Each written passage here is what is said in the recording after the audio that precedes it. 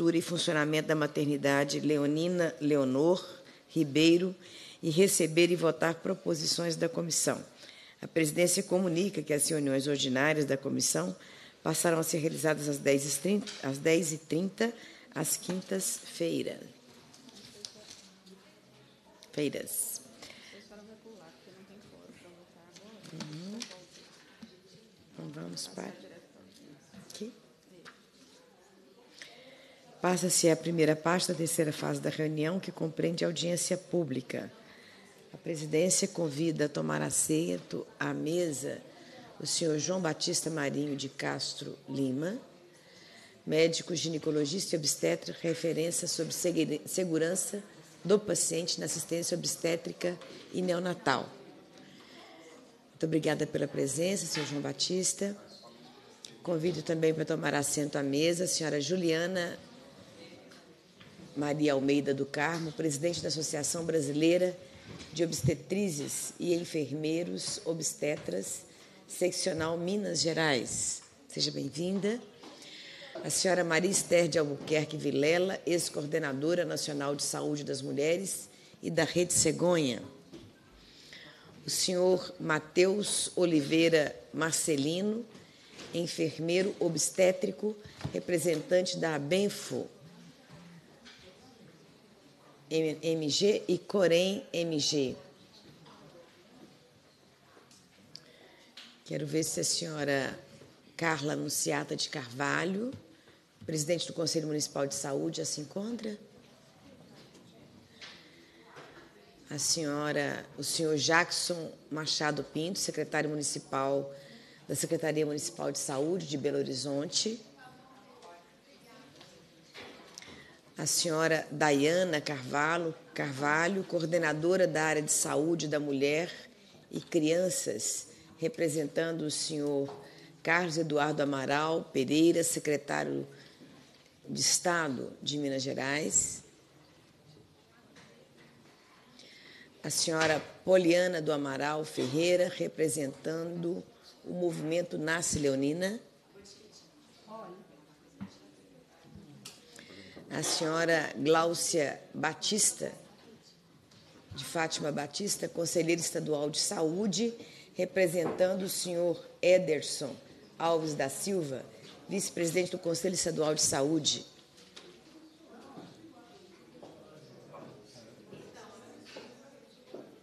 Bom, a Poli já chegou? Já, já Opa. Bom dia. Gente, vamos é, iniciar o nosso debate. Infelizmente, ainda sem a presença do, do Poder Executivo Municipal e também do Poder Executivo Estadual. E nós estamos discutindo é, o funcionamento de. Nós queremos discutir o funcionamento de uma maternidade que tem mais de 10 anos que está sendo construída. Né? Mais de 10 anos. Nós tivemos a oportunidade, enquanto Comissão de Mulheres, de visitar o secretário de Saúde de Estado para debater sobre essa temática. Também é, fizemos uma visita técnica desta comissão na maternidade Leona Leonina, eu particularmente achei que a maternidade era pequenininha, quase que achei que era até uma casa assim. Né? E fiquei muito impressionada com o tamanho da maternidade. É, gente, é, tem muitas cadeiras aqui dentro. Eu quero convidar, podia o pessoal da assessoria é, trazer algumas lideranças aqui para dentro para ver se as pessoas se acomodam melhor nos plenarinhos. Tem alunos do primeiro período de pedagogia da UNA também, que eles estão só visitando. Ah, tá.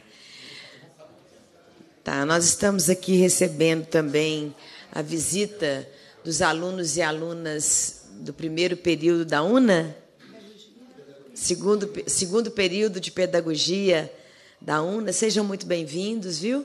Vocês estão é, assistindo, talvez só um pedacinho, da reunião da comissão, de uma audiência promovida pela Comissão de Mulheres da Assembleia Legislativa, que pauta que nesse espaço, que é composto por 77 deputados e deputadas, apenas 10 mulheres, mas é nessa comissão que a gente discute a agenda de direitos das mulheres. E aqui, em particular, nós estamos debatendo o direito da mulher ter um parto humanizado, o direito da mulher ser respeitada no momento do parto, o direito da mulher de ser ouvida no momento do parto. Então, é uma audiência importante, porque nós estamos discutindo aqui é, um equipamento que há mais de 10 anos está sendo construído para garantir o atendimento à mulher em Belo Horizonte, um atendimento humanizado, e até hoje é, não foi colocada essa maternidade em funcionamento. Então, eu dizia aqui que nós fizemos uma visita técnica para conhecer a maternidade, e tanto na visita técnica que fizemos, como também na reunião com o secretário de Saúde de Estado, o próprio secretário e a representante do secretário na visita técnica, disse que na maternidade eles não fecharam a possibilidade de que ela funcione como maternidade. Mas nesse primeiro momento, o que é, é planejado pela Prefeitura de Belo Horizonte é que lá seja inaugurado um centro de atendimento é, com várias especialidades é, para atendimento das mulheres.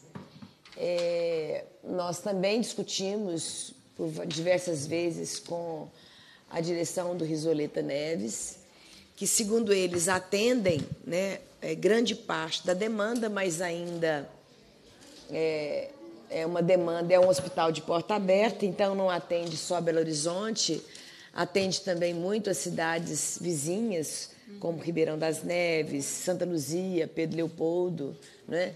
não só mulheres, mas toda a população. Mas, enfim, estamos lá com essa maternidade pronta para ser inaugurada, mas a preferência de Belo Horizonte, que foi explicitada tanto na reunião com o secretário de Saúde, como também é, é, na visita técnica, de que lá neste primeiro momento, se inaugure o centro é, de especialidades e assumiram também um compromisso de que as, as, os equipamentos públicos da Prefeitura de Belo Horizonte, que, segundo a Prefeitura, a Secretaria de Saúde, atende à demanda de BH, que eles vão caminhar é, é, no sentido de implementar é, cada vez né, com mais intensidade o atendimento humanizado do parto nas unidades de saúde de Belo Horizonte, nos, nas maternidades. Em particular, na maternidade do Odilon Beres, eles pretendem fazer uma reforma, uma reforma, e já atendendo essa concepção de atendimento humanizado do parto.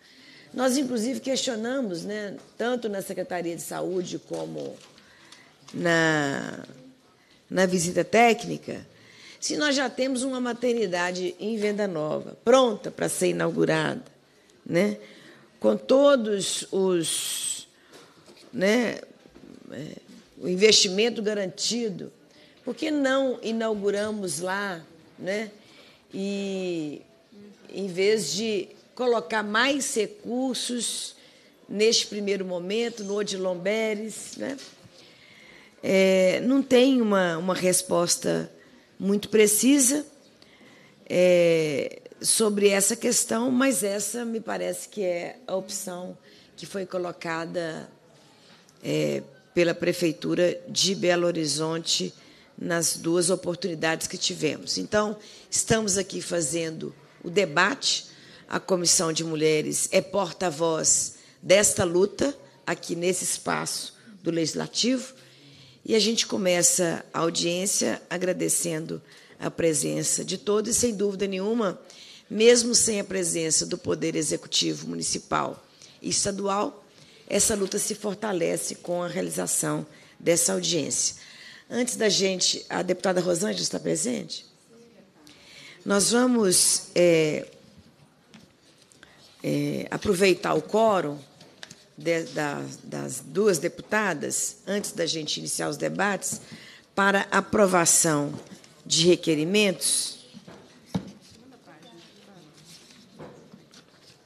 Passa-se a terceira fase da primeira parte da reunião, que compreende recebimento, discussão e votação de proposição da comissão. Sobre a mesa, a visita técnica realizada em 26 de 9 é, é, de 2019 na maternidade Leona, Leonina Leonor Ribeiro. É, o equipamento foi construído como anexo da UPA Venda Nova. O projeto inicial financiado com recursos do Fundo Municipal de Saúde de Belo Horizonte previa investimento de 2,2 milhões. O valor final da obra totalizou gastos de aproximando de aproximadamente 3,2 milhões. Segundo o relatório da Secretaria de Saúde de Belo Horizonte, a unidade encontra-se com 70% das obras concluídas. A previsão para a conclusão das obras e inauguração foi anunciada em 2009. Nós estamos em 2019, então foi anunciada a previsão de inauguração há 10 anos atrás. Para que as, os nossos, todos aqui acho que conhecem muito bem a estrutura, mas para aqueles que nos assistem pela TV Assembleia, a capacidade instalada de serviço de 32 leitos pré-parto, parto e puerpério, 10 leitos de cuidado progressivo para recém-nascidos, 5 blocos cirúrgicos, 7 suítes com banheiro privado, 106 com banheira, 350 parturientes por mês.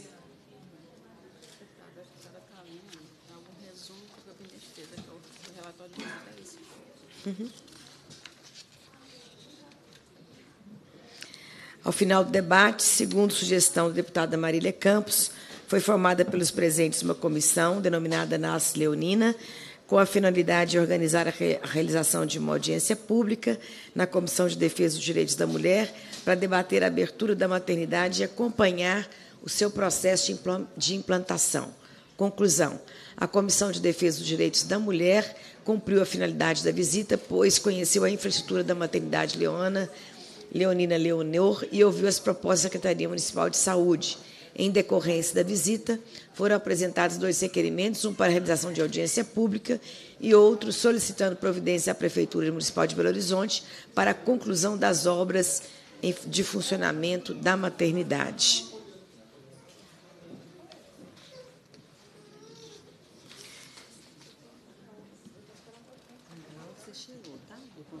Espera aí.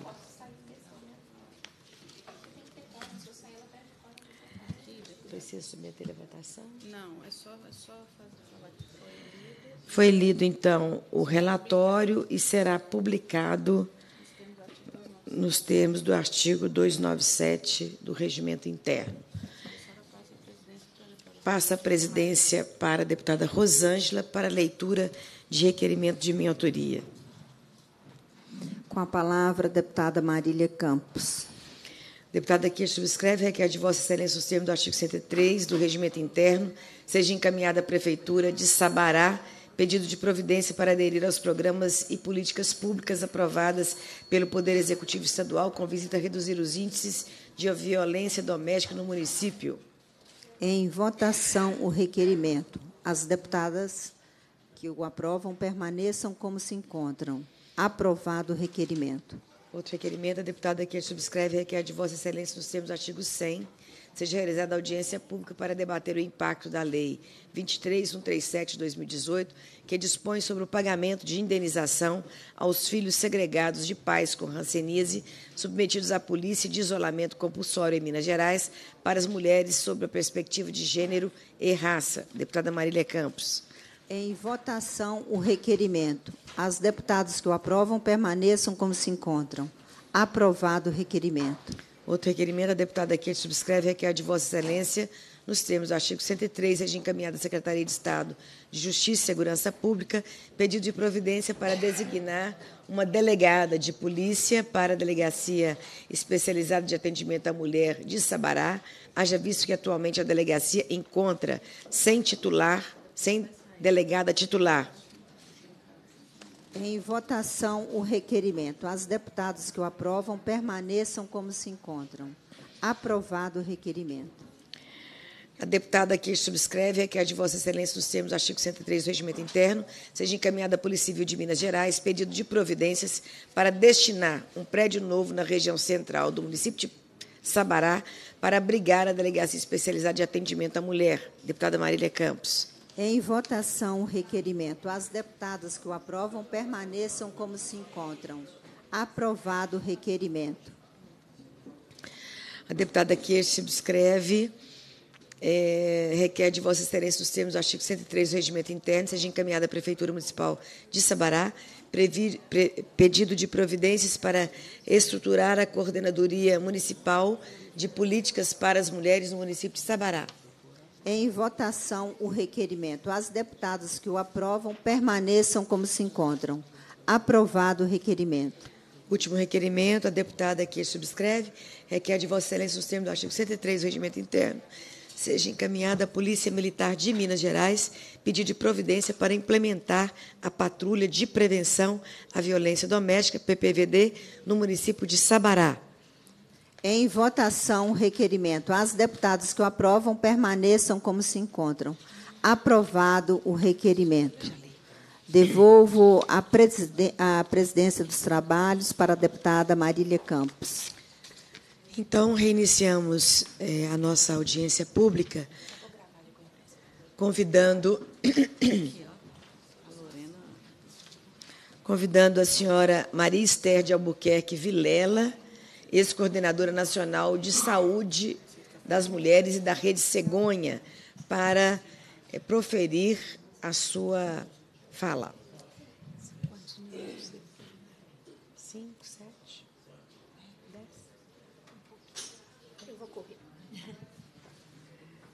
que eu tenho uma apresentação. É? Ok, te dou um pouco mais. Tá? Mexa, Cris. Eu também quero. Essa chegou, viu? Tá Convido a senhora Glaucia Fátima Batista, representando o senhor Ederson Alves da Silva, conselheiro estadual da Saúde. Glaucia. Deixa eu ajeitar uma cadeira. O Glaucio, senta ali. Sem nada. Com a palavra, então, a senhora Esther. Bom dia a todas, a todos. Eu cumprimento a deputada Marília Campos por essa iniciativa, ao, à Comissão de Mulheres da Câmara, né, a todos os presentes, à mesa, é, agradeço o convite por estar aqui.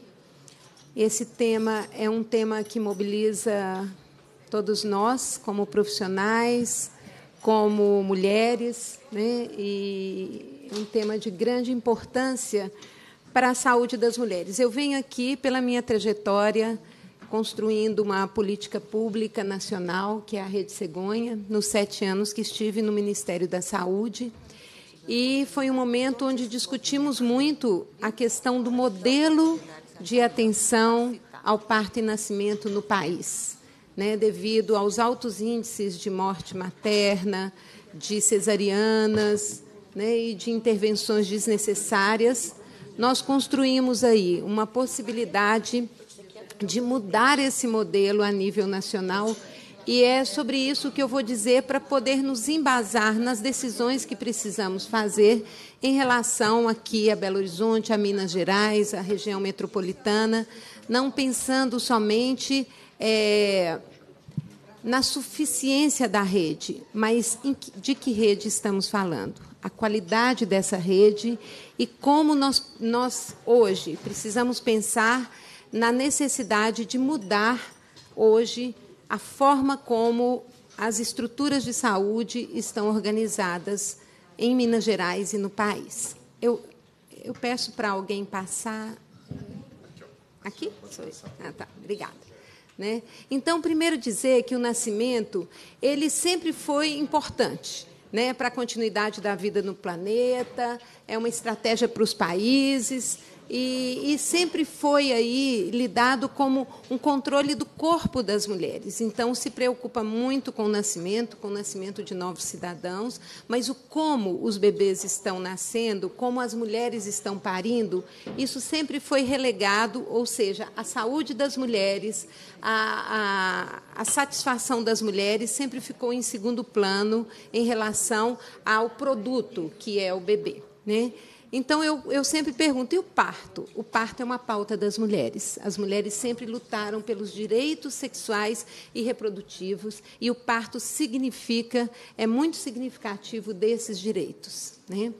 É, dizendo aí, né, nós temos declarações não só de 2014, mas de 2018, né, que é, muitos maus tratos, negligência, abandono é, são vividos pelas mulheres no momento do parto. Tudo isso decorrente de um modelo de atenção que nós precisamos mudar é, ao atender as mulheres nesse momento, que é o momento de parir, o momento do parto e do nascimento. Tá? Estou passando aqui bem rápido. É, e aí, é, eu gostaria de dizer, para a gente discutir a maternidade Leonina Leonor, e eu digo mais, para discutir a abertura imediata de um centro de parto normal já pronto dentro da maternidade Leonina Leonor, Leonor que nós temos duas formas de lidar com parto-nascimento.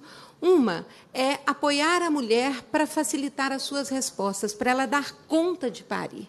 A outra é se sobrepor à biologia e impor um controle externo, recorrendo a intervenções, anestesias e procedimentos cirúrgicos, que é o modelo que nós chamamos intervencionista e medicalizado da assistência ao parto e nascimento.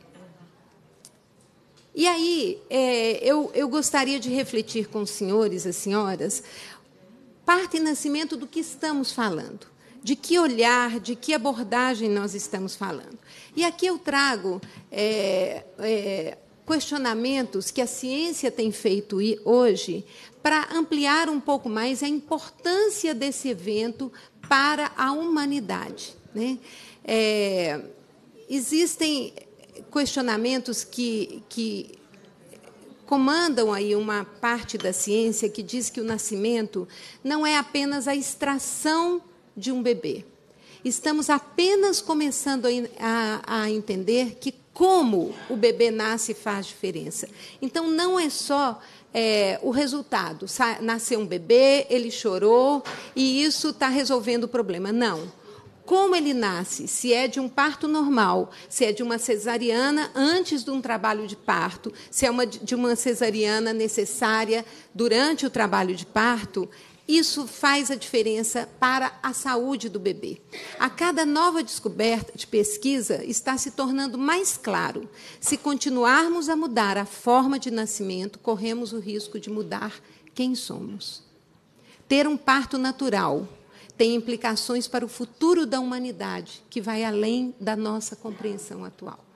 Os estudos da epigenética, os estudos da microbiota têm apontado para esse caminho, ou seja, nós temos muita responsabilidade sobre como nós estamos é, cuidando para que os novos cidadãos venham nesse mundo, né, os novos os bebês.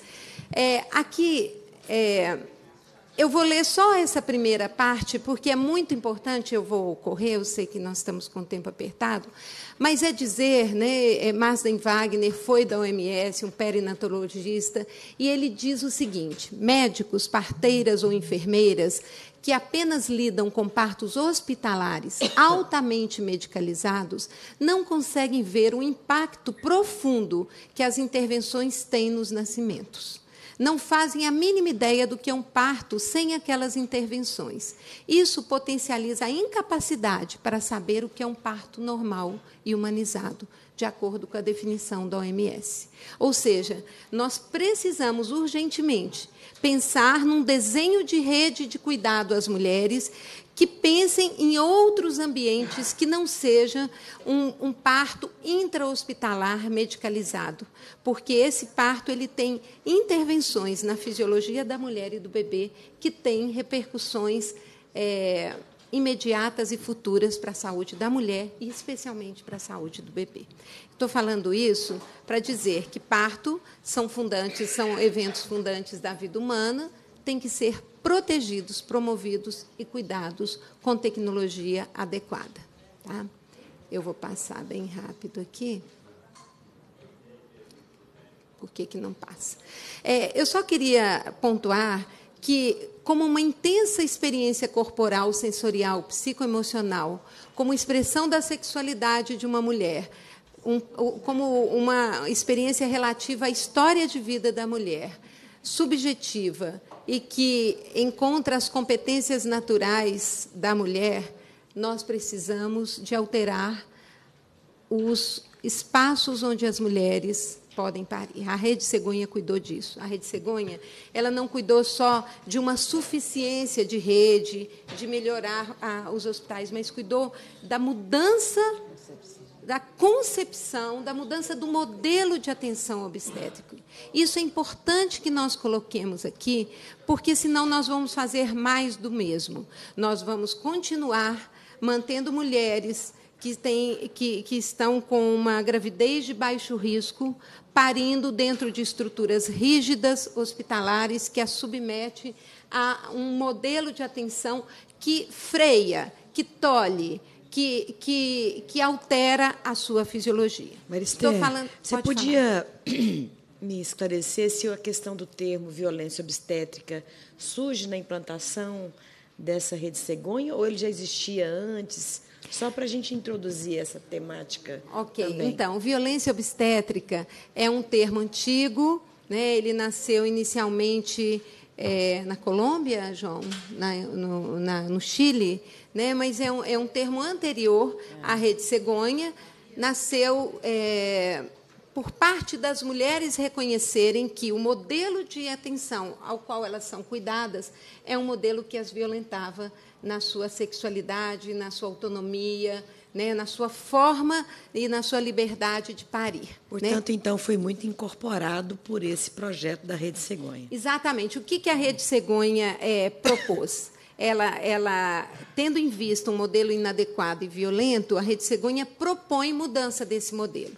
É, naquele momento, em 2011, sabíamos dos das altas taxas de cesariana, mas a opção foi por é, construir uma oferta de bom parto para que a cesárea não virasse uma rota de fuga das mulheres. Então, não é reduzir a cesárea é, de uma forma a empurrar as mulheres para o parto violento, mas alterar esse parto.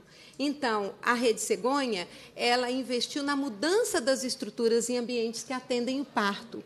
Ela investiu, na, é, investiu recursos financeiros para que as maternidades pudessem transformar a tradicional sala de parto trabalho de parto, parto puerpério, com mesa ginecológica, com salas impessoais, né, salas que não é, respeitavam a privacidade e a fisiologia do parto, Obrigada. e em quartos PPPs, porque pela RDC 2008, de número RDC 36 de 2008, não existe mais sala de parto, não existe, gente é, mesa ginecológica para assistência ao parto não existe pela Anvisa, regulamentação dos ambientes hospitalares. Além disso, a Rede Segura investiu nos centros de parto normal, intra-hospitalares e peri-hospitalares, e nas casas de gestante, bebê e puérpera.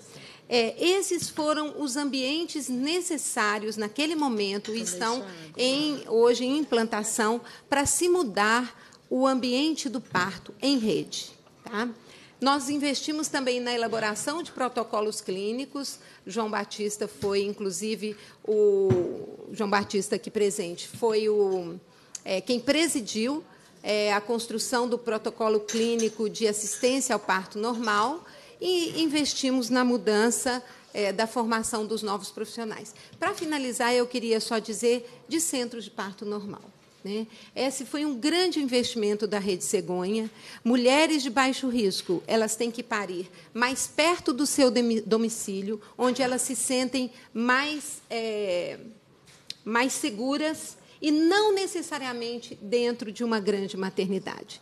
Essa é uma mudança que foi colocada pelo governo federal enquanto uma política pública em 2011, está vigente.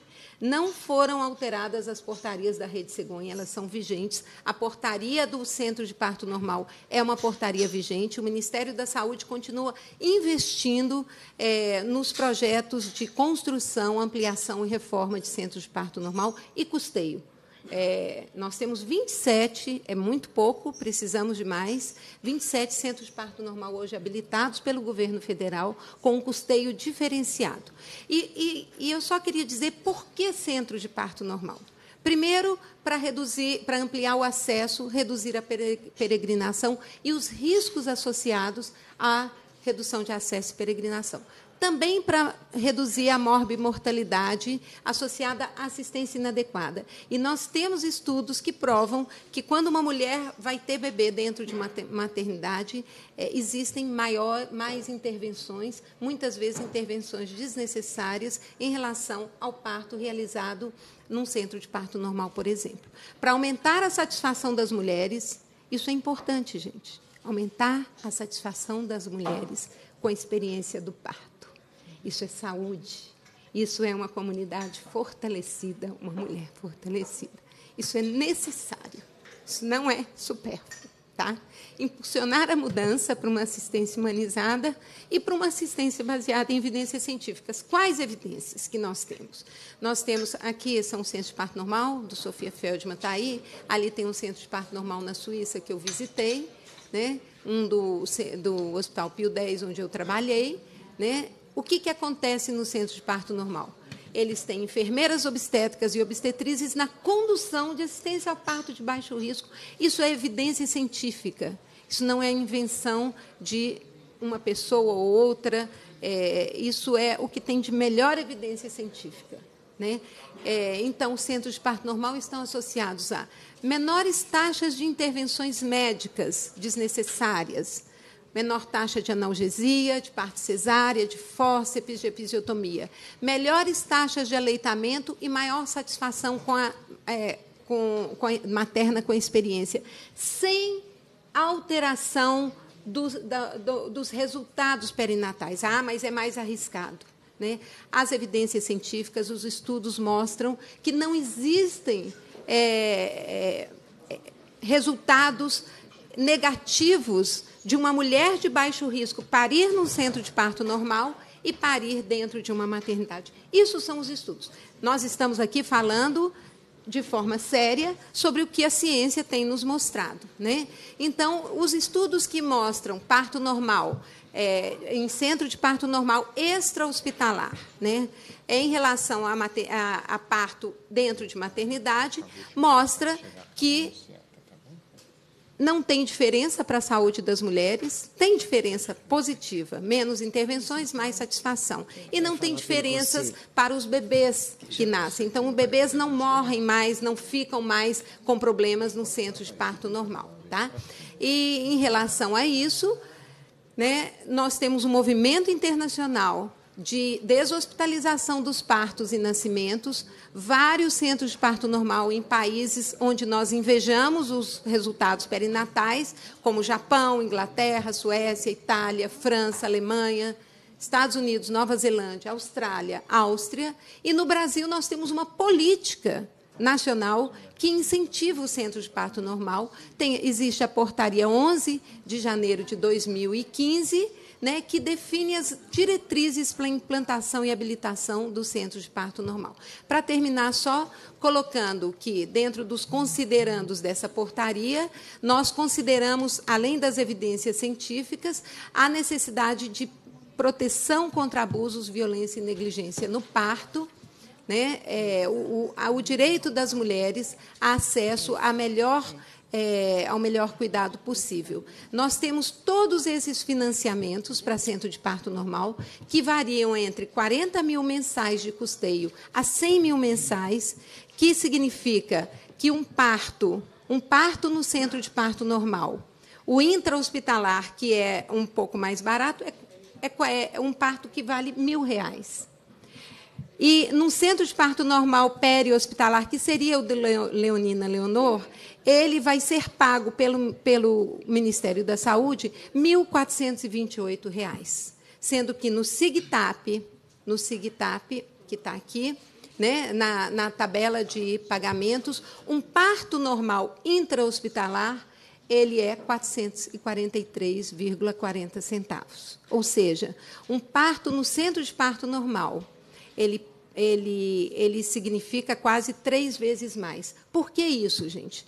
Porque o importante não é só baratear a saúde, é oferecer uma saúde que vai prevenir danos, que vai prevenir mulheres em UTI, que vai prevenir bebês em UTI, que vai prevenir iatrogenias. Então, esse valor do pagamento do parto num centro de parto normal peri-hospitalar é um, é um valor que significa apostar na promoção da saúde e apostar mais é, na. É, menos é, nos efeitos maléficos que a gente pode ter com todo o parto é, medicalizado e eutrogênico.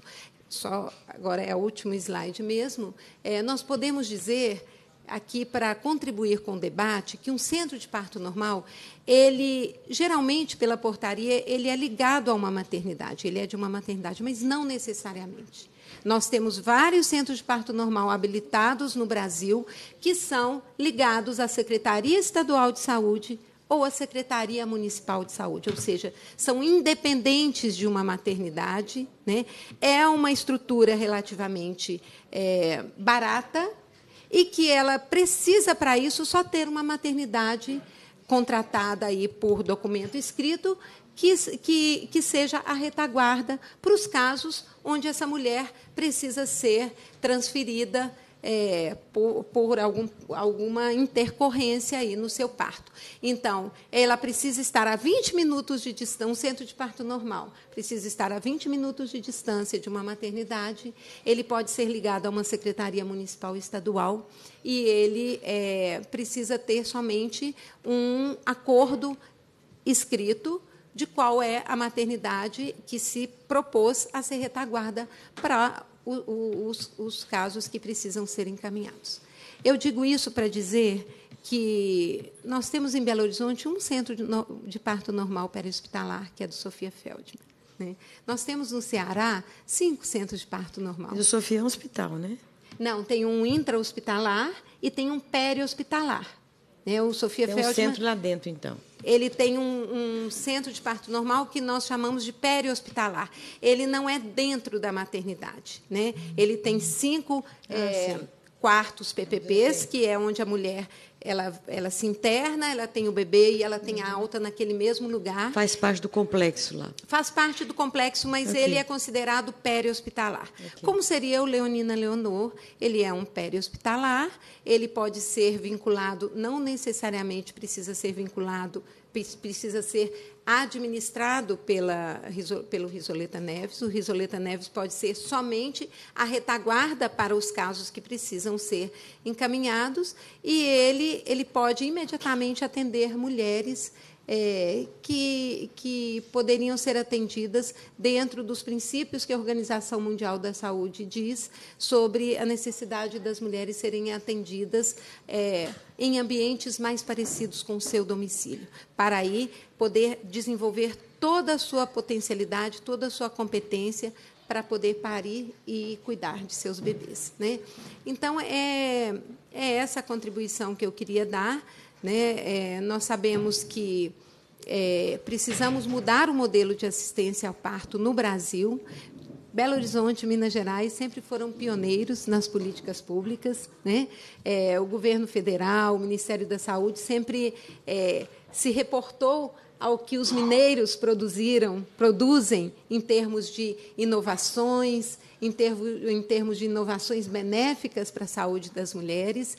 E eu acredito que aqui é, esse debate é justamente para dizer é, do que as mulheres brasileiras, do que as mulheres mineiras precisam para poder ter aí assegurado o direito de um parto respeitoso, de um parto fisiológico, de um parto humanizado.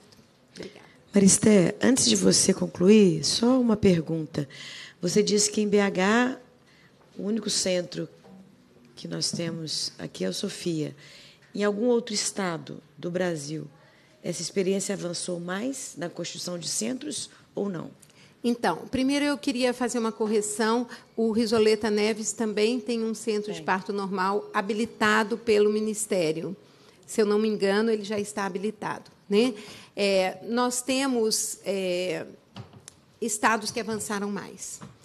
A Bahia é um estado que avançou mais, não, são estados mais do Nordeste e do Norte. Né? Nós temos o Ceará despontando aí com um grande quantitativo, talvez por um, uma decisão gestora né, de que o desenho da, da, atenção obstétrica no Ceará, é, ele precisava ser mudado. O João vai falar um pouco sobre o desenho, mas o Ceará habilitou é, seis, é, tem seis habilitados e outros em fase de habilitação, centros de parto normal. Né? Alguns intra-hospitalar, como é o Sofia, possui um, um intra-hospitalar, o Risoleta Neves também, e alguns extra-hospitalares. O extra-hospitalar, em relação ao intra-hospitalar, ele tem vantagens, porque as mulheres são mais protegidas da, daquela questão da intervenção. Né? Já habituada dentro de hospitais, rotinas mais rígidas. É, claro que como lá existem os riscos, né? Então as mulheres todas elas acabam entrando nessa noção do risco obstétrico. Quando você coloca as mulheres que têm um baixo risco, né, perto dos hospitais, mas não necessariamente dentro dos hospitais, ali você barateia a, a você economiza, existe economia aí, né? é, é um, um ambiente menos caro e você protege as mulheres dessa questão da intervenção hospitalar. E, ao mesmo tempo, você garante acesso. Então, você não aumenta o risco nem das mulheres, nem dos bebês, quando você está com um atendimento é, de mulheres em centros de parto normal perto dos, das maternidades, para caso elas precisem ser transferidas. Então, esse é um modelo que nós, enquanto política pública, Ministério da Saúde, implantamos, né, lançamos no Brasil, formulamos para que ele seja é, implantado a nível nacional. A nossa diretriz, que João já, é, é reafirmo ele, coordenou essa diretriz, ela fala sobre o local de parto justamente isso. Como nós precisamos retirar mulheres que estão dentro do hospital só para parir, né? É, como a gente retira e coloca em nesses espaços mais humanizados, mais protegidos, mais respeitosos. Com quem atendendo os partos? Enfermeiros obstétricas, obstétricos e obstetrizes, com, claro, a equipe de retaguarda, composto por médicos, por pediatras, por anestesistas, caso essas mulheres precisem. Ok? Obrigada. Esclareci? Esclareceu. Muito obrigada. É, antes de passar para a Juliana, que será a próxima, eu quero anunciar a presença de vários coletivos que prestigiam essa audiência. O coletivo nacional Nascer Direito. Está aí? Bem-vindas, bem-vindos. Equipe Gerânio de Doulas, Carol Ferreira. Hã? Opa, escondidinha aí, bem-vinda. Sentidos do Nascer, Talita Fernandes. Bem-vinda. Pontos de luta. Beatriz, Delze, tudo bem? Que nos essa faixa é para ficar aqui depois de presente, como é que é? É? Obrigada. Levante Popular da Juventude, Gisele. Bem-vinda. Movimentação Venda Nova, Mauro Lopes. Bem-vindo. Se tiver mais alguém que eu não tenha citado. A partida, Está aqui também. Bem-vinda. Tá. E aqui nós temos. Hã? A Maria do Carmo de Paula, que está aqui com a gente, técnica de enfermagem. Maria Ilza, presidente do Conselho Municipal Local. Arline de Oliveira Neves, missionária. Iracilda Teixeira da Cunha, conselheira de Venda Nova. Cátia Cristina Salles, presidente do PSOL, presidenta. É, Geralda Rosa de Jesus, auxiliar de enfermagem. Fabiane Ferreira Guimarães, doula, consultora de aleitamento. Maura Lopes é, Martins, Associação Comunitária do Bairro Santa Mônica. Oh, desculpa, já citei. Já citei, Mauro. Desculpa. Cecília Emília Borges, veterinária. Saiu. Isabela Loureira, Lourença, do PSOL, gabinetona. Muito bem. Tá. Vai ter neném lá no Sofia? Hã? Podia ser um Leonina. Hã? E eu também registro a presença, que está fazendo parte da mesa, da Carla Anunciata. Ela é presidenta do Conselho Municipal de Saúde de BH. Bom, próxima, próxima então, a Juliana, que é presidente da Associação Brasileira de Obstetrizes e Enfermeiros Obstetras, seccional Minas Gerais. Juliana, cinco minutos. Vamos lá, vou tentar. É, bom dia a todos. Cumprimentar as deputadas Marília, Beatriz, agradecer por essa oportunidade da gente estar aqui mais uma vez, é, enquanto cidadãs, né, enquanto profissionais, enquanto mulheres, é, nessa luta pela abertura desse espaço que eu acredito que vai beneficiar muitas mulheres, é, vai beneficiar muito a formação de novos profissionais é, e também a toda a população, não só de Venda Nova, mas de Minas Gerais, né? levando em consideração aonde esse, essa maternidade Leonina Leonor está. É, bom, eu, eu né, quando eu, pensei em falar alguma coisa, eu pensei assim, quem foi Leonina Leonor? Né? Às vezes, é até um nome tão diferente, a gente pensar quem foi essa mulher. E aí eu fui fazer uma pesquisa. Ela foi uma famosa parteira que atuava lá em Venda Nova e que ela, é, durante mais de 40 anos, ela trouxe a vida ali aquelas pessoas e ela tinha uma, uma prática de catalogar esses nascimentos e depois levar isso para as escolas, para que as, as escolas pudessem cobrar a, a, a, matrícula dessas crianças. Então, ela foi uma enfermeira que, na época dela, ela inovou, era uma parteira. Né? A gente sabe que, até pouco tempo atrás, por exemplo, meu pai nasceu em casa, né? na casa da na, na, casa dele. Muitas das pessoas têm em suas famílias é, pessoas que nasceram em casa. E aí, essa parteira foi homenageada porque o pensamento de construir aquele espaço era que ele fosse, é, que ele seja uma casa, um centro de parto normal. Né? É, é, um equipamento de saúde, está ali, né, aquela fotinho ali é pequena, é a foto da, da, da, da é, da entrada do espaço, né? A Esther já falou, a deputada também já falou, é um espaço onde pode ter 32 leitos, né? Tem sete salas de parto, sendo seis delas com banheiras. A gente sabe que a banheira ela contribui muito com o alívio da dor, né? A mulher ela fica mais confortável. O bebê pode até não nascer na água, mas o tempo que ela passa em trabalho de parto na água alivia bastante aquelas dores que ela passa durante o trabalho de parto. E aí tinha essa previsão de abrir essa maternidade em 2009. E já foram gastos mais de 2 milhões com esse projeto, e até hoje essa maternidade está fechada. É, mas todas as vezes que a gente vai lá, né, então é, o movimento Nasce Leonina já foi lá várias vezes. Todas as vezes que a gente vai lá, a gente, a gente quer chorar, porque o espaço é tão lindo. Eu, enquanto enfermeira obstétrica, trabalho no Hospital das Clínicas, numa maternidade de alto risco. Estou lá todos os dias acompanhando as mulheres. É, eu eu olho para aquilo e penso assim: meu sonho seria trabalhar naquele lugar. Porque eu trabalho num hospital público onde, para oito leitos, eu tenho apenas um banheiro. Apenas um banheiro. Parto deputada, é algo muito fisiológico, onde a gente tem fezes, a gente tem urina, a gente tem sangue, a gente precisa de um ambiente privativo, um quarto individual, a gente precisa de um banheiro para que a gente possa, essa mulher possa expressar e dar melhores respostas nesse trabalho de parto. E essa maternidade está pronta, os quartos são lindos, são coloridos, tem banheiro é, é, espaçoso, tem banheira, ou seja, está pronto para é, oferecer uma, adequa, um, uma adequada ambiência para as mulheres.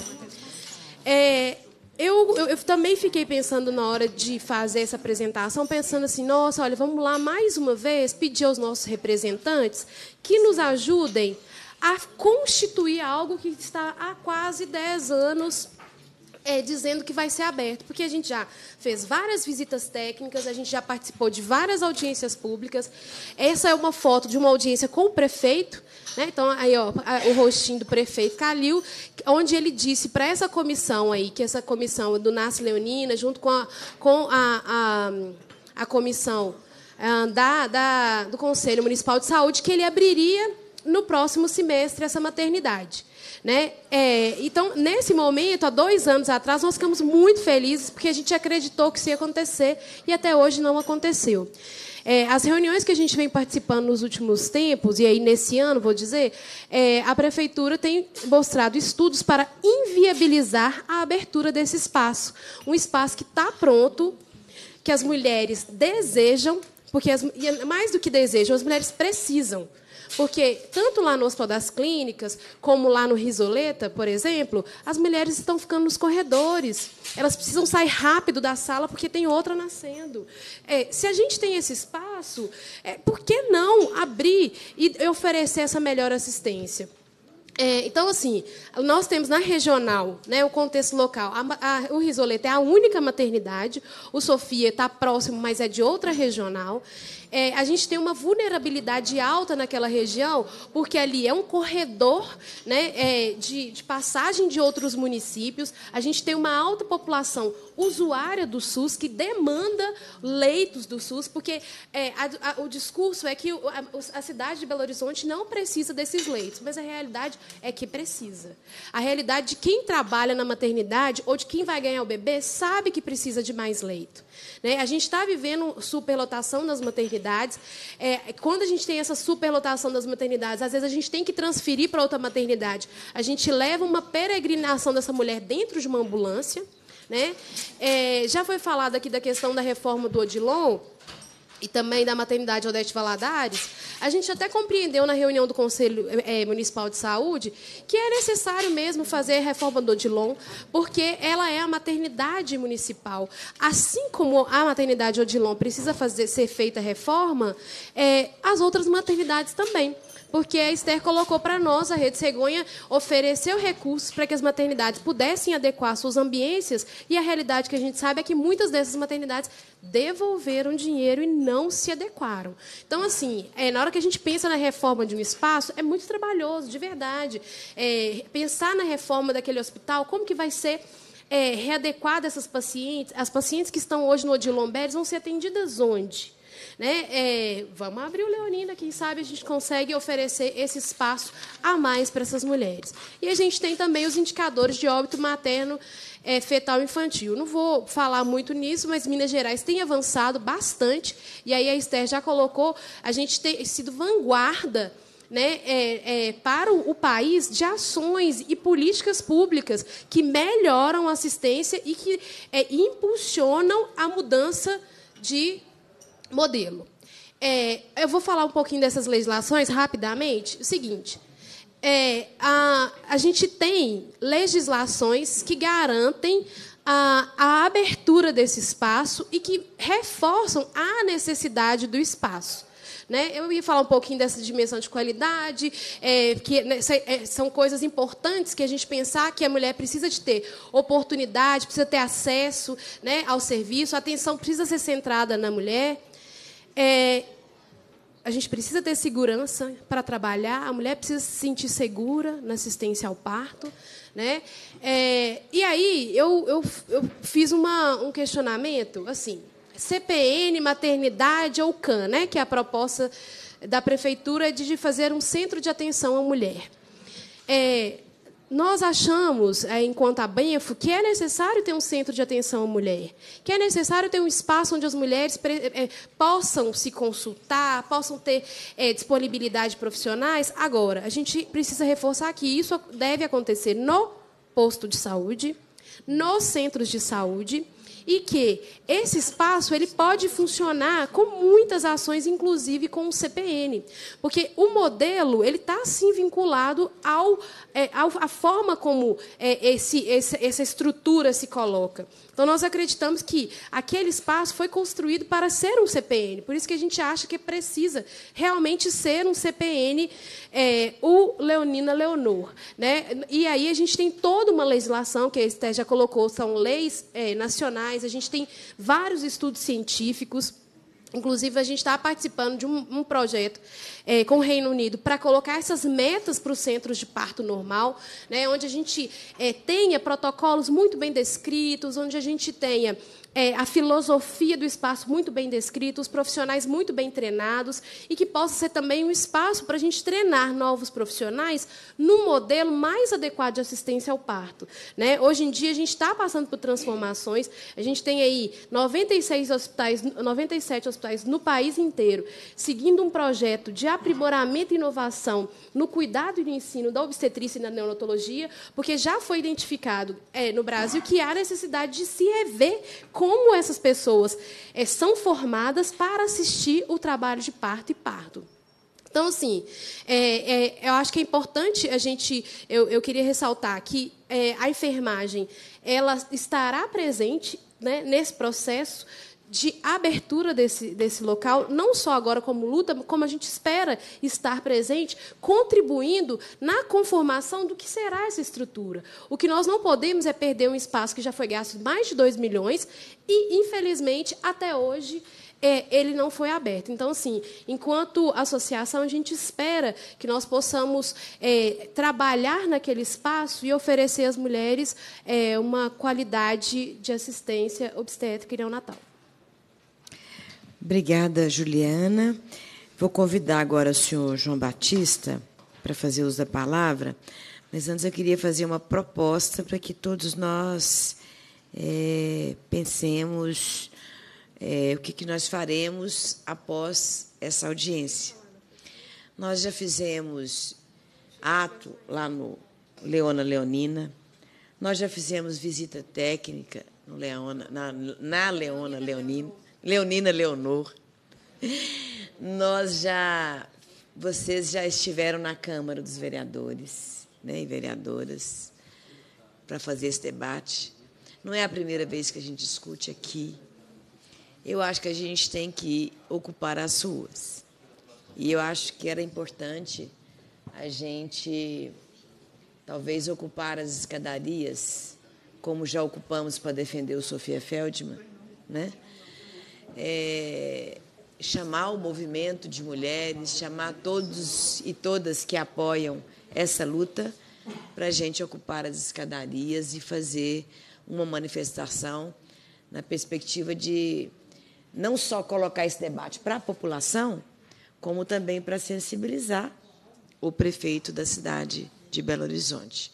Então, deixe aqui como proposta para a gente levar os nossos bordados, para a gente levar o nosso teatro, para a gente levar as nossas militantes e os nossos militantes contra as violências em defesa do parto humanizado. Foi falado aqui que nós temos o Sofia Feldman, mas que não está na melhor das situações. Nós sabemos a crise financeira né, que se encontra o Sofia Feldman, né, com a diminuição do atendimento, né, particularmente do atendimento do interior de Minas Gerais, porque atende não apenas a população de BH, atende todas as mulheres de parto, de situação de risco que vêm né, para Belo Horizonte. Então, está tendo uma redução drástica. O dia que eu fui lá, eu fiquei impressionada com, com a estrutura de, de esvaziamento é, dos, dos, dos CTIs, na diminuição do atendimento. Então, é muito importante também que a gente lute para avançar a implementação de novos centros, mas que a gente continue na luta também pelo fortalecimento do Sofia Feldman, que é referência em todo o Estado. Então, deixo aqui como proposta para a gente organizar, é, talvez sair daqui com alguma comissão né, de organização, se vocês toparem, a gente fazer essa, essa mobilização na porta da Prefeitura. Então, nós vamos ouvir agora o senhor João Batista, que é médico, ginecologista e obstetra. Antes do senhor João, a Beatriz Cerqueira tem uma reunião no governo do Estado e ela está com a agenda apertada e está pedindo para se posicionar antes de se retirar. Verdade, bom dia. Bom dia, presidenta. Eu quero fazer uma saudação de luta e de compromisso com a pauta da nossa audiência pública de hoje, que não é o primeiro momento que a situação da maternidade é debatida. Nós acompanhamos todas as atividades, muitas vezes através da nossa assessoria, Bernadette, quem faz esse nosso acompanhamento. Eu quero é reafirmar né, esse compromisso. É, eu ali na imprensa, é, Marília, eu fiquei achando, eu achei tão estranho uma pergunta que me fizeram, mas precisa de mais vagas? Como se o debate ficasse restrito a isso. Eu olhei e disse sim, precisa. Precisa desse modelo, precisa dessa concepção. Né? Não é um debate restrito a mais vagas, menos vagas, como se é, toda a concepção que está sendo debatida nessa audiência não fosse relevante, não fosse importante. É, eu sou muito fã de audiências públicas porque elas disputam opinião pública, gente. Nós precisamos disputá-la. Às vezes a gente tem uma ideia de que é, é uma luta tão importante que todos já estão convencidos dela. Não necessariamente. Então, essa, esse debate, essa disputa de concepção. É, e quando eu fui perguntada sobre é preciso, né, como se nós estivéssemos, talvez, de, debatendo algo que não é tão necessário? Né? Se essa pergunta me foi feita, é porque a gente precisa muito ainda fazer o debate desse modelo e dessa concepção de parto é, e de maternidade que nos interessa enquanto mulheres e na nossa sociedade. Então, eu quero reafirmar o compromisso de luta do nosso mandato, junto com a deputada Marília Campos. Me permita, Marília, só fazer um protesto. Eu, nós que somos deputados de primeiro mandato, tivemos a oportunidade de dedicar recursos é, à saúde em 2019. Mas a metodologia que o governo do Estado adotou impossibilitou que nós pudéssemos destinar recursos ao Sofia. Então, o meu protesto é esse, sabe? Um lugar que precisa tanto de investimento, é, mas a mudança de metodologia do governo do Estado impossibilitou que todos nós, que somos deputados de primeiro mandato, pudéssemos, este ano, dedicar recursos é, ao Sofia. Eu tentei muito, é, insisti muito, busquei muito, protestei, não quis fazer outras indicações na perspectiva de resolver, porque a gente tem que ajudar e fazer os investimentos onde nós acreditamos também na concepção. E fomos, é, e não foi possível, porque o governo, por metodologia, uma metodologia interna da Secretaria de Governo impossibilitou que todos os deputados de primeiro mandato que poderiam dedicar recursos ao Sistema Único de Saúde esse ano, eh, nós não pudemos fazer nenhuma destinação, nenhuma indicação ao Sofia, por discussão de metodologia de indicação, nada além disso. Então, me, quero aproveitar para deixar esse protesto, porque eu busquei muito, eu tentei muito o diálogo, porque quando eu vi que era um problema de metodologia, metodologia se resolve, né? e não consegui não consegui é, resolver para o ano de 2019. Nós temos um processo de construção dessas questões de fortalecimento do Sistema Único de Saúde, é por onde nós nos guiamos e continuaremos nessa batalha. Mas eu queria aproveitar e deixar esse protesto, que eu achei tão, tão desnecessário, né, uma metodologia que impeça que o recurso chegue aonde tem que chegar para que nós pudéssemos fortalecer o Sistema Único de Saúde e as concepções que nós trabalhamos. Então, é para é, reafirmar esse compromisso de luta. Eu queria pedir a compreensão é, de todas nós, de todos os movimentos que estão aqui, que, de fato, às vezes a gente nos é imposta algumas agendas que não dependem da nossa vontade. E eu é, tive, terei uma agenda é, com a Secretaria de Planejamento e Gestão que não dependeu só de mim para o agendamento. Então, eu tive que me dividir entre estar aqui aqui e também cumprir essa tarefa é, na Secretaria de Planejamento e Gestão. Mas contem com o nosso mandato nessa importante luta até que ela não seja mais necessária, né? porque a gente faz a luta até que a gente alcance é, a, a vitória. E naquilo que for de encaminhamento, nós estaremos juntos para dar andamento e continuidade às nossas discussões. Então, um abraço é, e um cumprimento a, toda, a todas as convidadas e os convidados se sintam contemplados nessa saudação às mulheres presentes aqui nessa audiência pública e sigamos fazendo essa luta tão fundamental é, para todas nós e nossa sociedade. Obrigada. Obrigada, Beatriz. Então, com a palavra agora, o senhor João Batista Marinho de Castro Lima. Eu não tenho apresentação, porque é, me convidaram para falar aqui nessa audiência, falando mais sobre a questão dos aspectos. Então, eu, eu sou médico ginecologista obstetra, eu venho relacionar sobre os aspectos de segurança da assistência. E venho há muito tempo estudando sobre a organização da assistência obstétrica e também sobre segurança da, dessa assistência. Então, alguns aspectos. Primeiro, eu gostaria de colocar rapidamente alguns aspectos relacionados à segurança. As pessoas confundem muito segurança como segurança na assistência fosse alguém morrer ou não morrer. Né? Ou seja, não morreu, teve uma assistência segura. Morreu, não teve. E não é bem assim. A segurança ela envolve muitos aspectos que, que na assistência, em qualquer lugar, um paciente, em qualquer lugar que ele procura assistência, que não só envolve aquelas, aqueles eventos que vão prejudicar, por exemplo, a função do, do funcionamento do organismo, qualquer coisa, ou mesmo a morte. Então, numa dimensão muito mais ampla de segurança, a gente tem que incluir os aspectos sociais, os aspectos psicológicos, emocionais, todos num processo de assistência. Então, é considerado dano à integridade do indivíduo quando ele sofre, ou ela, no caso, o indivíduo ou uma mulher, num parto, qualquer coisa, qualquer ação que possa trazer danos do ponto de vista emocional, também social, cultural, ou seja, isso também é considerado dano. Então, quando se estuda a segurança do, do paciente, se tem que deixar bem claro. Só que nós, principalmente no Brasil, a segurança é muito centrada na questão, é tipo, morreu ou não morreu, machucou ou não machucou. Né? Tipo assim, lesou ou não lesou, mas lesou o quê? E aí fica muito na lesão física, biológica, e esquece-se das lesões psíquicas, mentais, que qualquer paciente, em qualquer lugar, pode sofrer. Tá? Essa é a primeira questão da segurança. E muito importante nesse debate da maternidade Leonina Leonor é a questão também da organização da assistência obstétrica, gente. Olha, o parto ele passou a ser hospitalar de forma mais intensa no mundo inteiro foi a partir da década de 50. Ou seja, antes disso, as mulheres tinham filho em casa. Aí há um, isso é um pouco de história importante que parece que a vida inteira as mulheres tiveram filhos em hospitais, né? desde que a humanidade existe, desde 150 mil anos atrás, mais ou menos. E não é verdade. A humanidade está aí, ela não se extinguiu, apesar de as mulheres todas terem seus filhos em casa. Isso não quer dizer que a gente proponha que todas voltem a ter filhos em casa.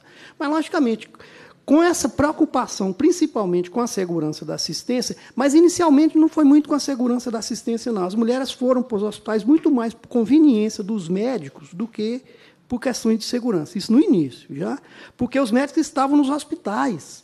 Então era melhor as mulheres irem lá onde eles estavam para ter seus filhos do que eles irem na casa delas assistir os filhos, principalmente nos grandes centros urbanos mundiais, na Europa e nos Estados Unidos, principalmente. Então, assim, ah, não, ninguém idealizou. Ah, não, agora as mulheres todas têm que ter parto no hospital porque elas não, não vão morrer. Não, não foi por isso, não. Foi por outras questões que as, é, é, ou seja, não havia profissionais suficientes para assistir as mulheres nos nas suas casas e elas acabaram tendo que ir nos hospitais.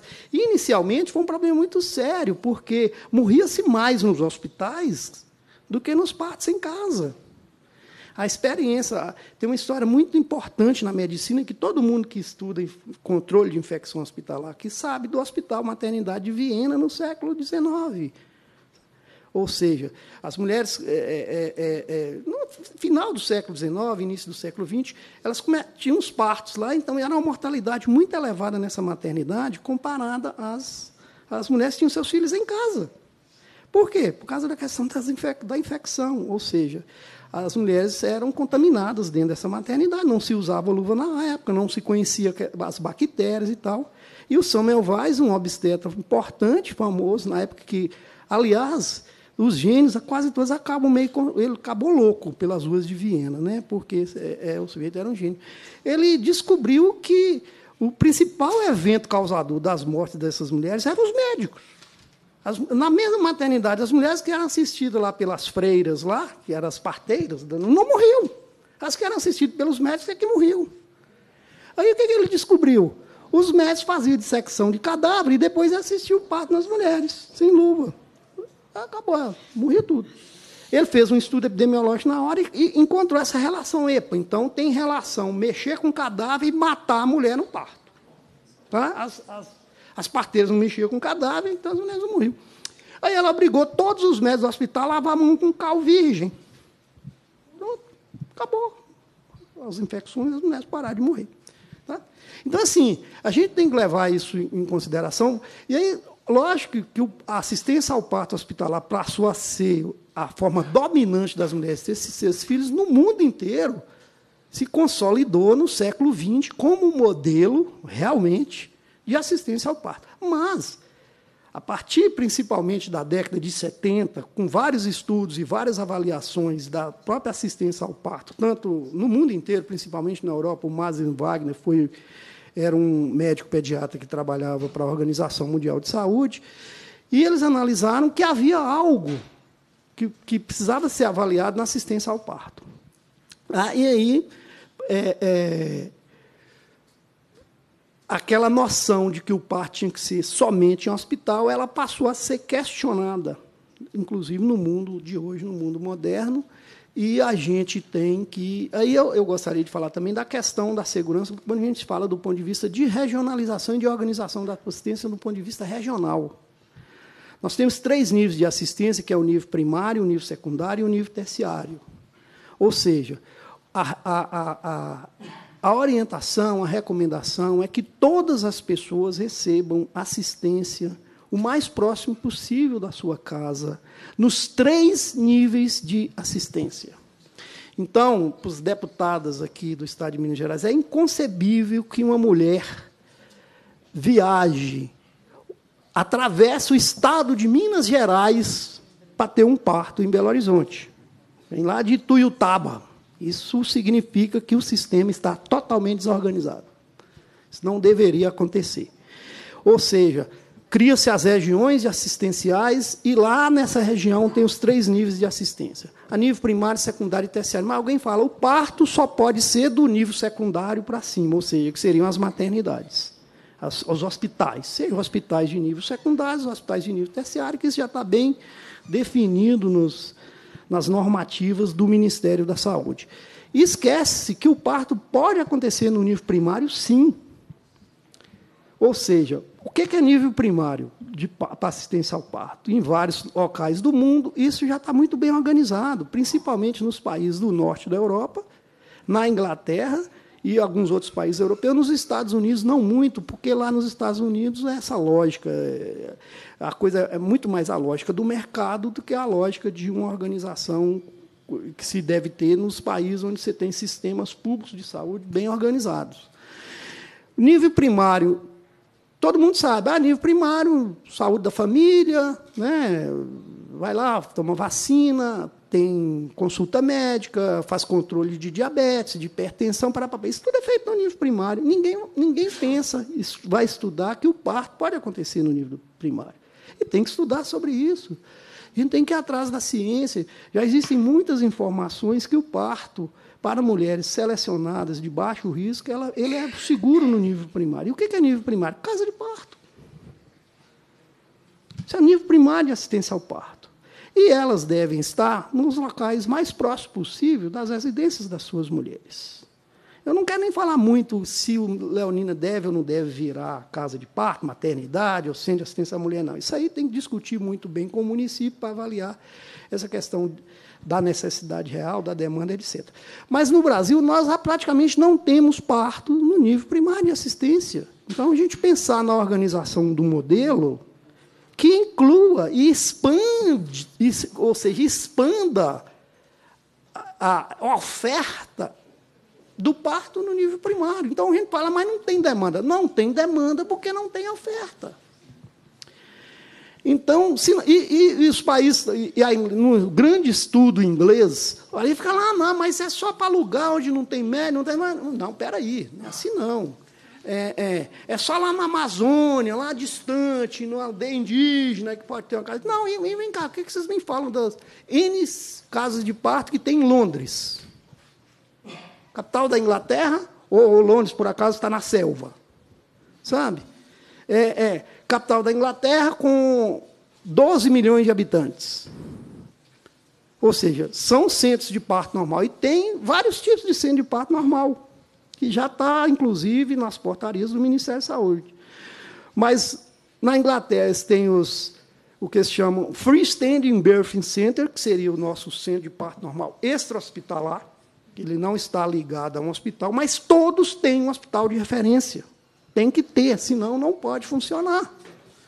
E tem que ser um processo formal mesmo, de referência, para não ficar disputando a maternidade de referência com o centro de parto normal. Ele pode não fazer parte daquela maternidade, mas aquela maternidade é referência. É, os alongside birthing centers, que são os centros de parto normal é, é, é dentro do hospital ou do ladinho do hospital. São esses dois tipos que tem na Inglaterra. Aqui nós temos o extra-hospitalar, o intra-hospitalar e o peri-hospitalar. Por algumas questões mais é, brasileiras que é, há, há, realmente necessidade de fazer essas adaptações tá? com, a, com a nossa realidade.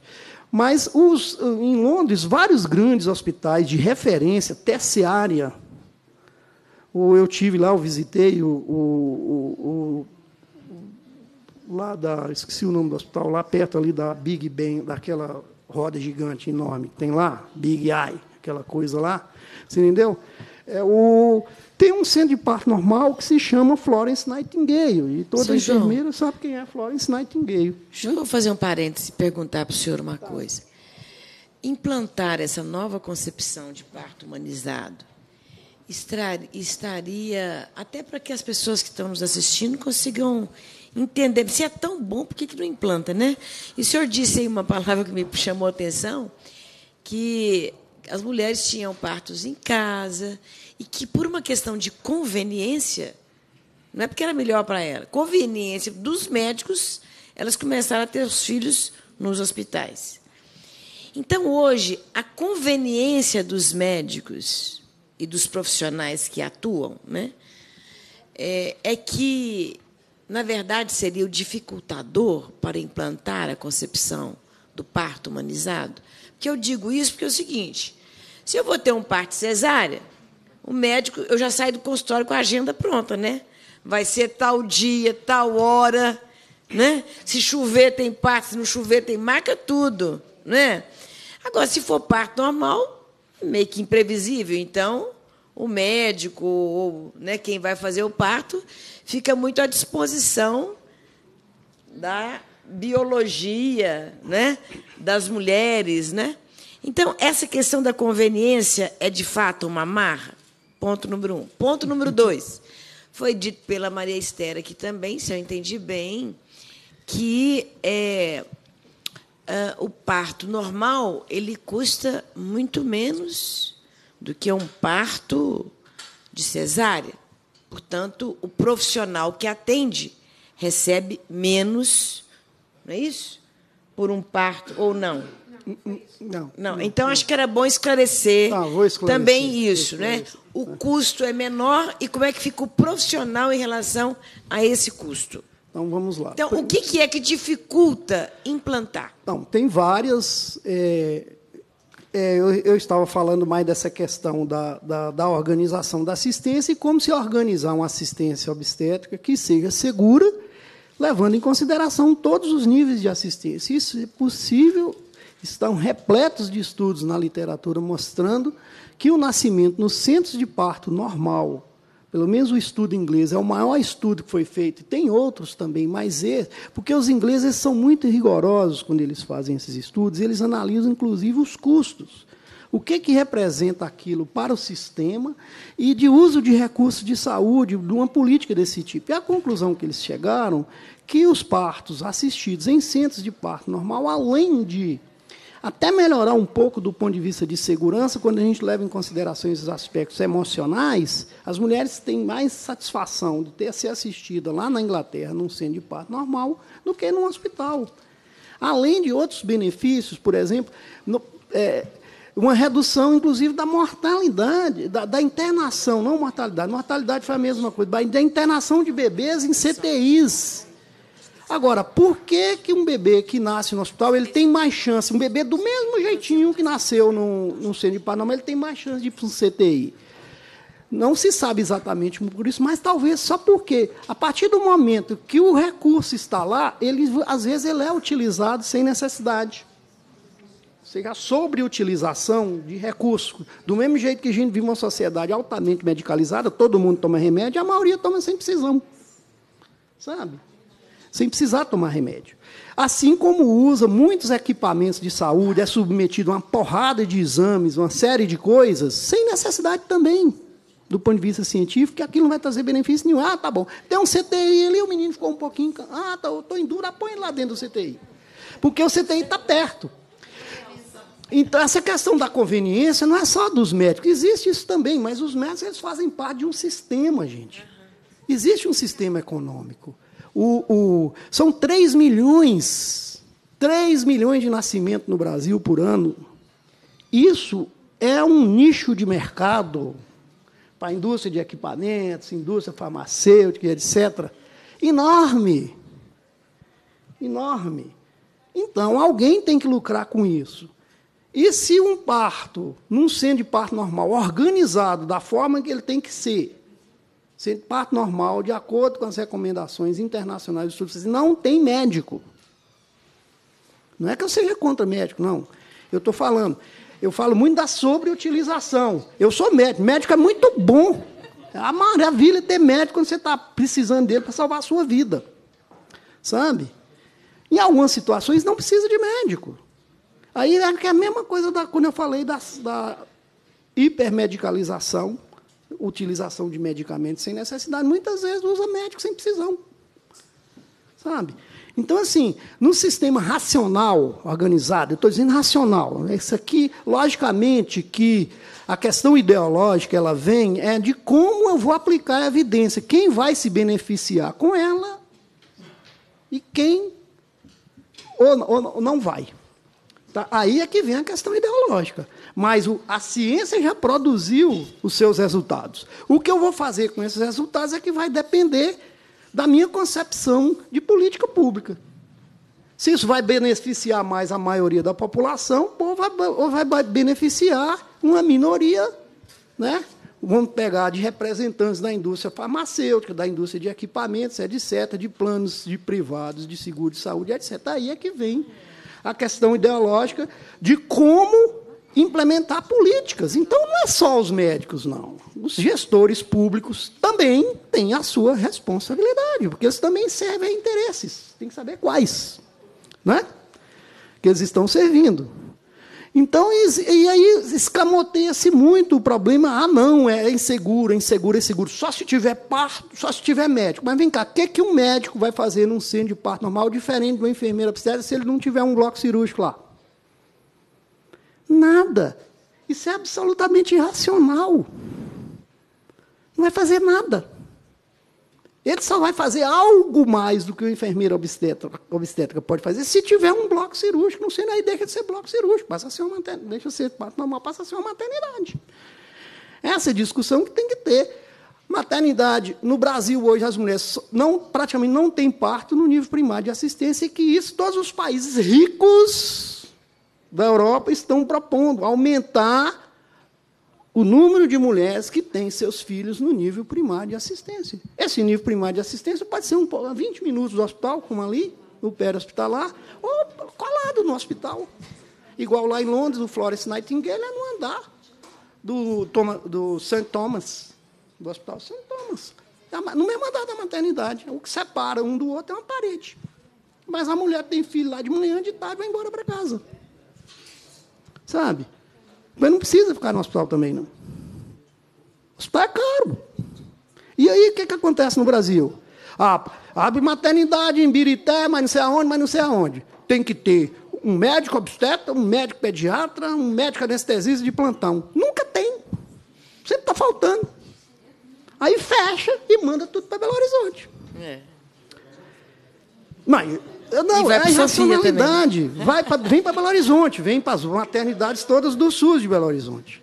Então, aqui, ah, Jaboticatubas, eh, Sabará, não tem maternidade. Por quê? Que para funcionar, se bem que Sabará é, é, falta de vergonha na cara, dá licença. Tem 200 e tantos mil habitantes lá, lá tinha que ter maternidade mesmo, de verdade. Você entendeu? Sabe? Então, assim, é um problema muito sério que nós temos no SUS, no estado de Minas Gerais. Quando você olha lá nos, nos, nas apresentações dos técnicos da secretaria, parece que é uma maravilha. A referência, a contra-referência, aquele negócio todo, mas não funciona na prática. Então a mulher sai lá de Tuiutaba para ter filho em Belo Horizonte. Sabe? Tinha que observar melhor essas coisas para estar funcionar. Agora, se não dá para montar uma maternidade numa determinada cidade, uma cidade pequena que tem, por exemplo, 500 partos por ano, 400 partos por ano, como que eu vou montar uma maternidade com toda a estrutura que ela precisa para assistir essa quantidade de partos? Sabe, um centro de parto normal funcionaria muito bem. Os municípios pequenos estão gastando em tubos de dinheiro para manter uma maternidade sem necessidade. Isso está acontecendo no país inteiro. O secretário de saúde gasta o dinheiro dele quase todo para pagar a maternidade lá, em, lá no Rio, lá em, em Resende, cidade pequenininha, tem trinta e poucos partos por mês, gente. E tem que ter toda a estrutura de maternidade. É um parto por dia. Olha que irracionalidade. Então, eu estou falando essa questão aqui, que tem que ter oferta para ter demanda. Se não tiver oferta, não tem demanda. Tá? Então, assim, agora quem vai resolver o problema lá do Leonina é o município de Belo Horizonte, tem que fazer outros estudos, isso é necessário sim, porque tem que ser racional. Analisar custo de forma adequada, mas não querer fazer de um parto normal uma estrutura de maternidade, porque aí o custo vai lá em cima. Tá? É isso que eu queria dizer. Obrigada, senhor João. Senhor João Batista, né? É, eu quero convidar agora a Gláucia representando o Ederson. Ela é conselheira estadual da saúde. Cinco minutos, tá, Glaucio? Eu estou aqui com dificuldade de controlar o tempo. Gente, o povo vai falando, vai falando, vai falando, e eu vou esquecendo. Mas vou começar a controlar. Eu quero anunciar a presença da Leonara, da Marcha Mundial de Mulheres. Está aí? Ei, Leonara, lutadora. Aí estou propondo luta na rua, viu, Leonara? De ocupar as escadas lá da prefeitura, fazer um grande movimento em defesa dos direitos da mulher. Tá bom? Vai pensar na data aí. Bruno Pedralva, da Rede Nacional de Médicos e Médicas Populares, Sindibel. Cadê o Bruno? Eu vi ele ali. Estava aí, não estava? Estava ali. Naquele Também a Letícia Zampier, do Movimento de Trabalhadores e Trabalhadoras por Direitos, MTD. MTD. Hein? Ah, muito bem. Bem-vindas, viu? Bem-vindas. Vamos lá, então? Agora a Gláucia. Cinco minutos. Ok. Bom dia a todos e a todas. Eu vou cumprimentar todos, né, em nome da Marília aqui participando da mesa. É, o que eu tenho a dizer é o seguinte: o Leonina Leonor é um, não é só uma demanda das mulheres, mas também passou a ser demanda da sociedade, na medida em que foi aprovado né, na Conferência Municipal de Saúde, é, foi aprovada na Comissão Intergestores Bipartite e também recebeu é, um. O Ministério Público também se pronunciou né, com relação à abertura do, do Leonina Leonor. E lembrar também a todos aqui né, que foi uma proposta de campanha do prefeito Calil né, de abri-la em 2018, né, e até hoje nada. E como a doutora Maria Esther disse, né, como o bebê nasce, faz diferença. Né, faz diferença na saúde, tanto das mulheres quanto dos bebês. Né? Pra, é para a vida toda a forma como é, esse parto ele é realizado. E o Brasil ele tem um compromisso internacionalmente né, de, de reduzir as cesáreas. Né? Há um compromisso aí da, de fazer com que a cesárea ela só é necessária né, em casos né, excepcionais, quando realmente precisa. Né? E o que é feito normalmente é, é, é são muitas cesáreas no país. Então, o modelo assistencial ele tem que ser mudado. Né? E a doutora Maria Esther lembrou que ele é vigente, né, o modelo do parto humanizado, do parto natural. Ele ainda está é, é, vigente. E esse modelo ele mostra evidências né, da redução das intervenções médicas desnecessárias né, e iatrogênicas, como é, o doutor João Batista é, colocou aqui. Né? Então, a gente precisa de mudar é, assistência ao parto, melhorando a qualidade da assistência obstétrica. E esse modelo proposto né, pelo movimento de mulheres é uma aposta né, na saúde das mulheres e os bebês. Então, concordo com a deputada Marília, né, que temos que disputar a narrativa né, na sociedade e retornar ao status né, das mulheres enquanto sujeito de direitos né, que, que tínhamos anteriormente.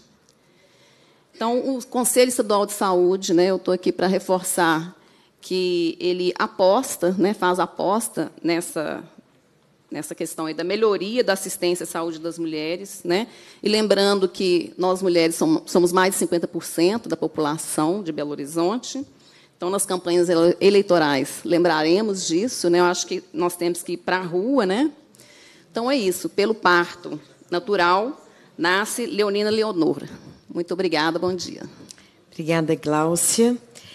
É, vai falar agora a Poliana. Poliana, falam por aí que não tem demanda para. Não precisa ter a, a Leonina, a maternidade, porque não tem demanda. Porque a, a, o hospital é, como que chama? Sofia? Não, o dali do lado. Risoleta. O Risoleta atenderia toda a demanda.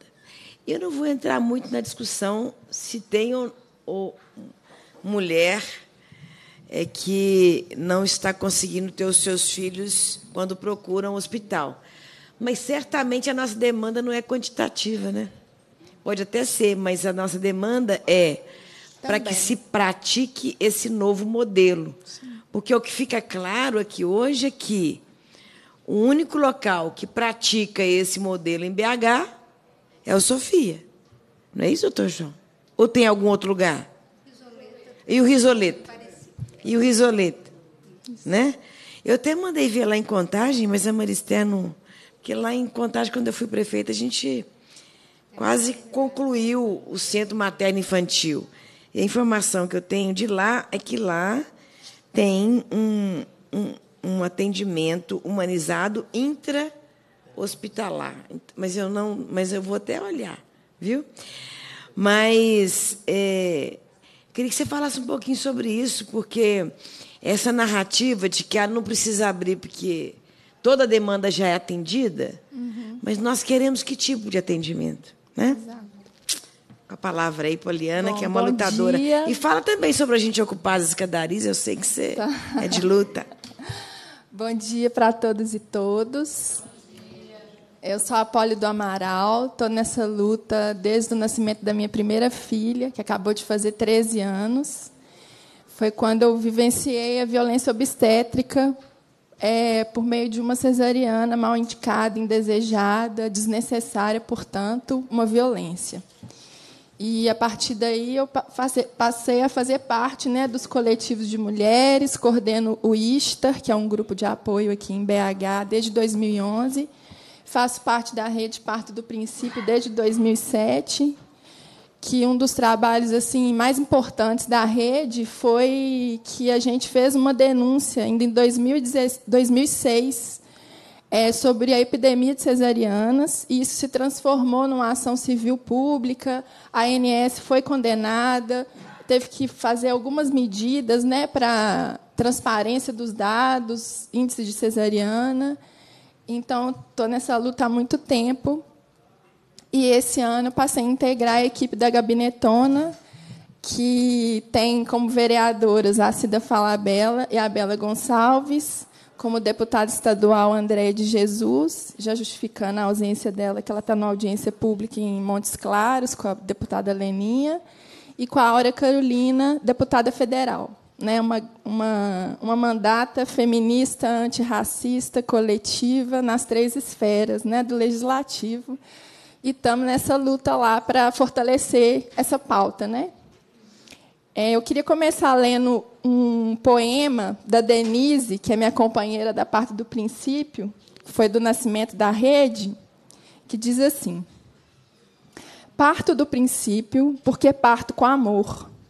É parindo que me reparto e sempre me multiplico, desde o princípio. Parto por inteiro, com quem vier, com quem me quiser. Parto com prazer, parto do respeito por uma vida melhor. Parto porque acredito que um bom parto é possível. Parto com amor. E por amor vou partindo e parindo. Então eu queria, sim, começar a minha fala dizendo que essa luta ela não é só pela Leonina, né? Essa luta é por todas as mulheres e todas as crianças. E, e quem aqui já teve um filho sabe do que eu estou falando. E mesmo quem não teve um filho já nasceu. Então essa essa luta é para todas e todos. E a Leonina acabou se transformando num símbolo dessa luta, né? Por ser é algo de mais próximo que a gente tem para concretizar isso que a gente está chamando assim de um patamar mesmo de cidadania. É um marco civilizatório até a Leonina. Porque quando a gente pare e nasce com respeito, a gente é capaz de muitas coisas depois disso. E talvez por isso tenham roubado isso de nós. E nós, mulheres, né, estamos nesse lugar que a maternidade é usada para nos vulnerabilizar, né, como uma estratégia do patriarcado. E nós não podemos permitir isso. A gente precisa usar da maternidade quando desejada, quando a mulher quer se tornar mãe, usar dessa maternidade para nos impulsionar, né, para a gente ocupar todos os lugares com as nossas crianças, com a nossa família. E então eu queria falar um pouco sobre assim as desculpas que têm sido dadas para Leonina não abrir, né? Então, primeira questão de ser CPN e não ser CPN. Fala o que é CPN. Então, ah, é, eu assim lamento muito, né, que o executivo não esteja aqui, tanto o municipal quanto o estadual, para poder ouvir Esther, João, Juliana, porque assim trazem todo o embasamento, tanto científico, profissional, social, né, humano mesmo. E eu acho que a gente só vai conseguir fazer essa revolução se a gente usar desses artifícios, né? Porque nós somos seres integrais, né? Nós não somos só um corpo que pare um filho. Nós somos pessoas, agentes sociais, somos agentes políticos, inclusive, né? E parir também é político, amamentar também é político, né? Então, assim, a Esther explanou muito bem sobre o centro de parto normal. E existe né, esse mito, né? E o secretário de saúde do município ele sempre fala isso. Ah, não. Ele, inclusive, ele faz campanha para não abrir a Leonina. Eu acho isso lamentável. É, porque, inclusive, eu acho que nem ele, nem o prefeito se deram conta do tanto que isso vai ser benéfico, inclusive, para um projeto político para a cidade. Isso pode ser usado, inclusive, para promover a eles próprios, inclusive. Então, assim, é uma oportunidade que eles estão perdendo de revolucionar mesmo, de fazer essa reforma obstétrica, né? Porque não consigo conceber alguém que seja contra abrir uma maternidade que vai trazer melhor assistência para as mulheres, para as crianças, que vai melhorar os indicadores, que vai reduzir custo, que vai proporcionar para as mulheres terem um bom parto perto de suas casas. Não, é inconcebível. Como que alguém vai ser contra isso? Não tem como ser contra isso deve ser porque não sabe, né? Então por isso que devia estar aqui para poder escutar e nos convidar a participar dessas discussões para a gente participar, né? Então, desde 2008 existe uma resolução da vigilância sanitária, que é a RDC 36, que regulamenta como devem ser os espaços de maternidade para elas para elas proporcionarem bom atendimento, com bons indicadores, equipe multiprofissional, é, direito acompanhante, direito à doula, né? tem um tamanho que esse quarto precisa ter, a mulher tem é, liberdade de se movimentar, de se locomover, de se alimentar, de estar com quem ela escolher. E apenas o Risoleta e o Sofia cumprem essa definição. Né? E, e, essa definição ela é muito próxima de ser um centro de parto normal. E, a partir de 2008, todas as maternidades teriam que se adequar a essa resolução.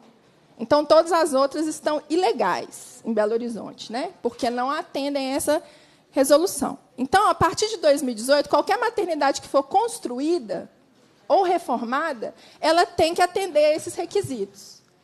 Então, a gente dizer que a gente não quer CPN significa dizer que a gente quer manter um modelo que é ilegal.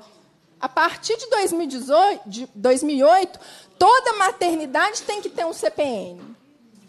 Né? E aí está a nossa, as nossas possibilidades. Vai ser um CPN intra-hospitalar, peri-hospitalar?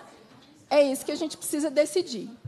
Né? Então, Leonina, aberta, com CPN, e aí a gente precisa pensar e discutir o que vamos ter além desse CPN. Né? Se, infelizmente, Belo Horizonte, que era pioneira nessa transformação no Brasil todo, que foi modelo para a Rede Cegonha, né?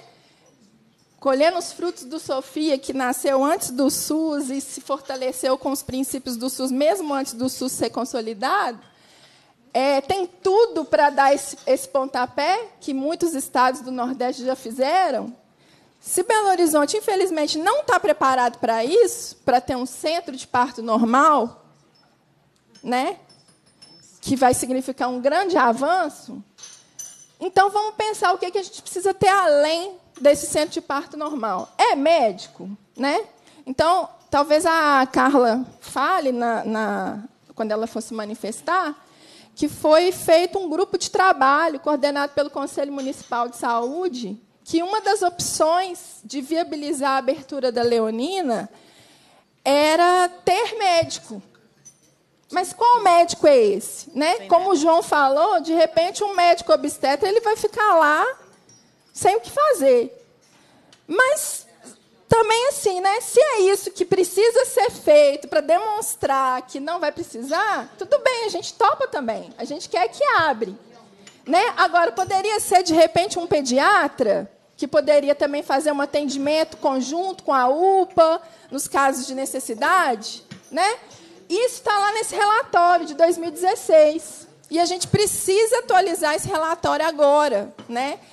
incorporando isso que a gente está propondo agora, da Leonina ser uma maternidade de baixo risco, né? ver quais outros serviços e outros profissionais precisam, é, além do que seria o, centro de parto normal previsto na portaria do Ministério da Saúde, como uma extensão da maternidade risoleta, a, o risoleta dando essa retaguarda, E aí nós precisamos disso agora no momento, eu acho. É construir esse modelo. Quais profissionais vão ter? Se vai ter médico, se não vai, quanto que isso vai custar, como que vai ser o plantão. E o Risoleta, para mim, tem o, o dever assim.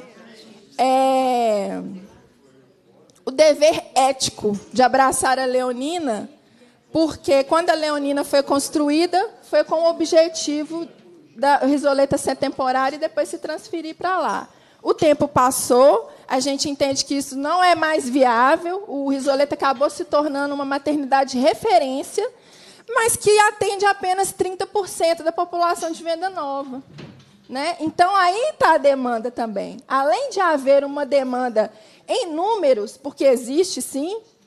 Muitas maternidades elas trabalham com a taxa de ocupação maior de 85%, que é a recomendada. Inclusive o risoleta. É, além da demanda numérica existir, a demanda por qualidade de leitos é inegável. Né? Trazendo esse número que o João falou aí, que a gente tem 3 milhões de nascimentos por ano no Brasil, considerando por baixo, né, que um quarto das mulheres sofre violência obstétrica, daria mais ou menos cinco bebês por minuto que no nascimento deles acontecem violência obstétrica. Então, assim, para mim é um desrespeito alguém falar que não precisa de leito, não precisa de espaço para as mulheres, não precisa de banheira. Quem está falando isso não, nunca entrou numa, numa maternidade, nunca acompanhou uma mulher ou nunca pariu. Porque nós sabemos o tanto que nós precisamos de ser respeitadas, de ser consideradas, de ser levada em conta a nossa autonomia, né, de das nossas crianças serem respeitadas. Então, assim, fala-se tanto de defesa das crianças, defesa da infância, mas cadê o respeito à infância e à criança desde o nascimento, né? Então, assim, é, sobre os custos, só para finalizar, né, é dito que a maternidade é muito cara. É outra coisa que a gente precisa sentar com cuidado para poder avaliar.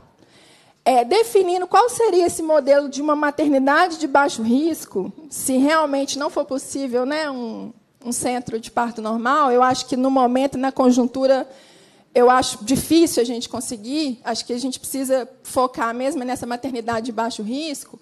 Definindo esse modelo, é que a gente vai conseguir definir os custos. O estudo que a prefeitura apresenta para nós é baseada em maternidades de alto risco, com taxas de permanência de dois dias e meio, né? partos de baixo risco tem uma permanência muito menor. Então, eles alegam que o número de leitos que a Leonina tem daria um número de partos por mês que não valeria a pena economicamente. Mas se essa taxa de permanência se reduz para 1,7, 1,8, como já foi aqui em Belo Horizonte, a média, você consegue no Leonina ter mais de 400, 450 partos por mês. Então a gente precisa ter muito cuidado assim de como que esses dados são apresentados e como que eles são usados como argumento. Né? Então, acho que o principal agora é a gente definir esse modelo, para a gente definir um, um custo justo, né? É, captar esse recurso para abertura inicial, habilitar o centro de parto normal no Ministério da Saúde, porque aí vão vir mais recursos. Né? O município ou o Estado, quem quer que for assumir o serviço, ele não vai ter que arcar com esse custeio sozinho. Né? Quando for habilitado como centro de parto normal, vai ter o recurso do Ministério da Saúde também. É Obrigada, isso. Obrigada, Poli. Você não falou nada da gente lutar lá fora? Nas ah, escadarias. A gente precisa ocupar a prefeitura e a cidade administrativa. As escadarias, por enquanto, tá? As escadarias, tá? Não precisa ser a prefeitura, não, as escadarias. Falar essa palavra ocupar, né? Beleza, obrigada, Poli. Nós vamos convidar o Matheus, que é, é representante da enfermeiro e representante da ABENFU e Corém. Matheus. Bom Cinco minutos, Matheus. Eita, vou tentar. bom dia a todos, bom dia, deputada Marília. É uma honra para mim estar aqui mais uma vez. Já tive a oportunidade de estar aqui nessa Casa do Legislativo, é, discutindo a questão da extinção da, do conceito de violência obstétrica, né, numa outra oportunidade. E prazer para mim estar aqui mais uma vez. E todo mundo já falou muito, né, gente? E a gente não tem dúvida nenhuma do que as evidências científicas mostram a respeito do, dos benefícios desse equipamento, do centro de parto normal e, e das legislações que a gente tem vigentes aí, né, que a gente conhece aí, deputada. E é interessante quando a gente vê, os, a gente está numa discussão mais gestora do que científica, né, João? O Esther debateu muito bem aqui, o João, as questões científicas a respeito da abertura do centro de parto normal, mas a gente está numa discussão extremamente gestora, e a gente vê, inclusive, aí na, na, na, nas redes sociais e na TV, quando o gestor do município fala, nós não precisamos de mais uma maternidade. Né? Eu concordo plenamente com ele. Nós não precisamos de mais uma maternidade no modelo que a gente já tem. Né? A gente precisa de um centro de parto normal. E eu acho, Poli, que a gente não tem que desistir da ideia de um centro de parto normal para construir mais uma maternidade de baixo risco, não. Eu não acho que a gente precisa de mais uma maternidade de baixo risco. Eu acho que a gente precisa, sim, de um centro de parto normal. Né? Porque apostar em mais uma maternidade no mesmo modelo que já estamos, eu não acredito mais nessa possibilidade. E essa discussão gestora, ela fala muito sobre a, as demandas das mulheres de BH. Né, que as demandas das mulheres de BH já estão atendidas, já são atendidas. Isso também eu vejo, tenho visto muito no, nas discussões aí, acompanhando, que as demandas das mulheres de BH já estão supridas com os equipamentos que já existem no município. Né? O que, é que a gente tem aqui hoje? Né? Falando dessas demandas, discorrendo sobre, as, sobre os equipamentos que a gente tem em BH para assistência ao parto e nascimento, envolvendo elementos de estrutura, porque quando a gente vê essas discussões, as pessoas estão, os gestores estão discutindo mais elementos de estrutura do que de processo, né, Esther? Estão pensando muito mais na demanda das mulheres por questões de estrutura do que na demanda das mulheres por questões de modelo, né, e nós estamos aqui discorrendo sobre essas duas questões, eu falo muito tranquilamente por conhecer todos esse, esses equipamentos de Belo Horizonte. Maternidade Odete Valadares, pré-partos coletivos, tem apenas um PPP. Ju... PPP. As suítes de parto, pré-parto, parto e pós-parto que é um, no mesmo lugar, uma, uma, um quarto individualizado. O restante, as mulheres ficam numa estrutura, num pré-parto coletivo, separado por cortinas, o que não atende a RDC 36 desde 2008. Tem um banheiro para oito mulheres. Júlia Kubitschek, pré-parto separados por cortina, nenhuma suíte individualizada de parto por cortinas. O Hospital das Clínicas tem uma suíte PPP. O restante também é pré-parto coletivo separado por box. Santa Casa não tem nenhuma suíte PPP, também um pré-parto coletivo. Hospital Odilon Beres, também um pré-parto coletivo, nenhuma suíte individualizada. Sofia Feldman tem uma, um CPN, um centro de parto normal intra-hospitalar e um peri-hospitalar. Risoleta Neves tem um centro de parto normal intra-hospitalar. Então, quando a gente fala de demanda envolvendo elementos de estrutura, essa demanda não atende às mulheres de Belo Horizonte e nem da região metropolitana, segundo a RDC 36 de 2008. Eu acredito, então, que a abertura da maternidade Leonina Leonor ela envolve muito mais do que questões de estrutura. Se a gente for envolver questões de processo, levando em consideração a presença de enfermeiras obstétricas, já que aqui eu represento o Conselho Regional de Enfermagem, essas maternidades, a grande maioria delas tem presença de enfermeiras obstétricas, mas ainda não trabalhando em pleno exercício profissional da sua autonomia. A grande maioria dessas maternidades não tem plantão completo de enfermeiras obstetras e não tem atuação plena dessas profissionais. O que já foi, o que desde a Rede Cegonha já foi um planejamento para a atuação dessas profissionais. E também é uma coisa, deputada, que é interessante, e aos aqui presentes, que as instâncias deliberativas do controle social já mostraram que não querem um centro de assistência à mulher, que querem um centro de parto normal. Né? E os gestores continuam insistindo em construir um centro de assistência à mulher, que também é uma coisa que chama, que chama atenção. Eu venho aqui, em nome do nosso conselho, é, ofertar essa nossa força de trabalho da enfermagem obstétrica, que é que entra como instrumento de trabalho nos centros de parto normal, nesse modelo liderado por enfermeiras obstétricas, como um serviço capacitado, segundo evidências científicas que a doutora Esther já apresentou, que salva vidas, que aumenta a satisfação das mulheres na assistência ao trabalho de parto e que pode entrar como contribuição na abertura da maternidade Leonina Leonor.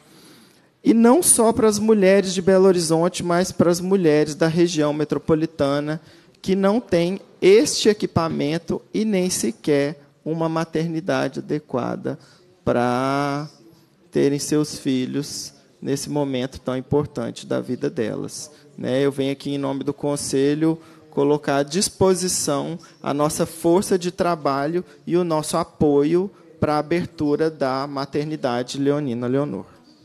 Nasce Leonina! Nasce. Obrigada, Matheus. A última a ser ouvida é a Carla, que é presidente do, presidenta do Conselho Municipal. Cinco minutos, Carla.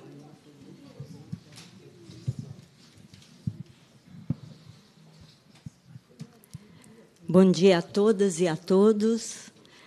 É com muito orgulho que eu estou aqui mais uma vez nessa discussão da abertura da Leonina.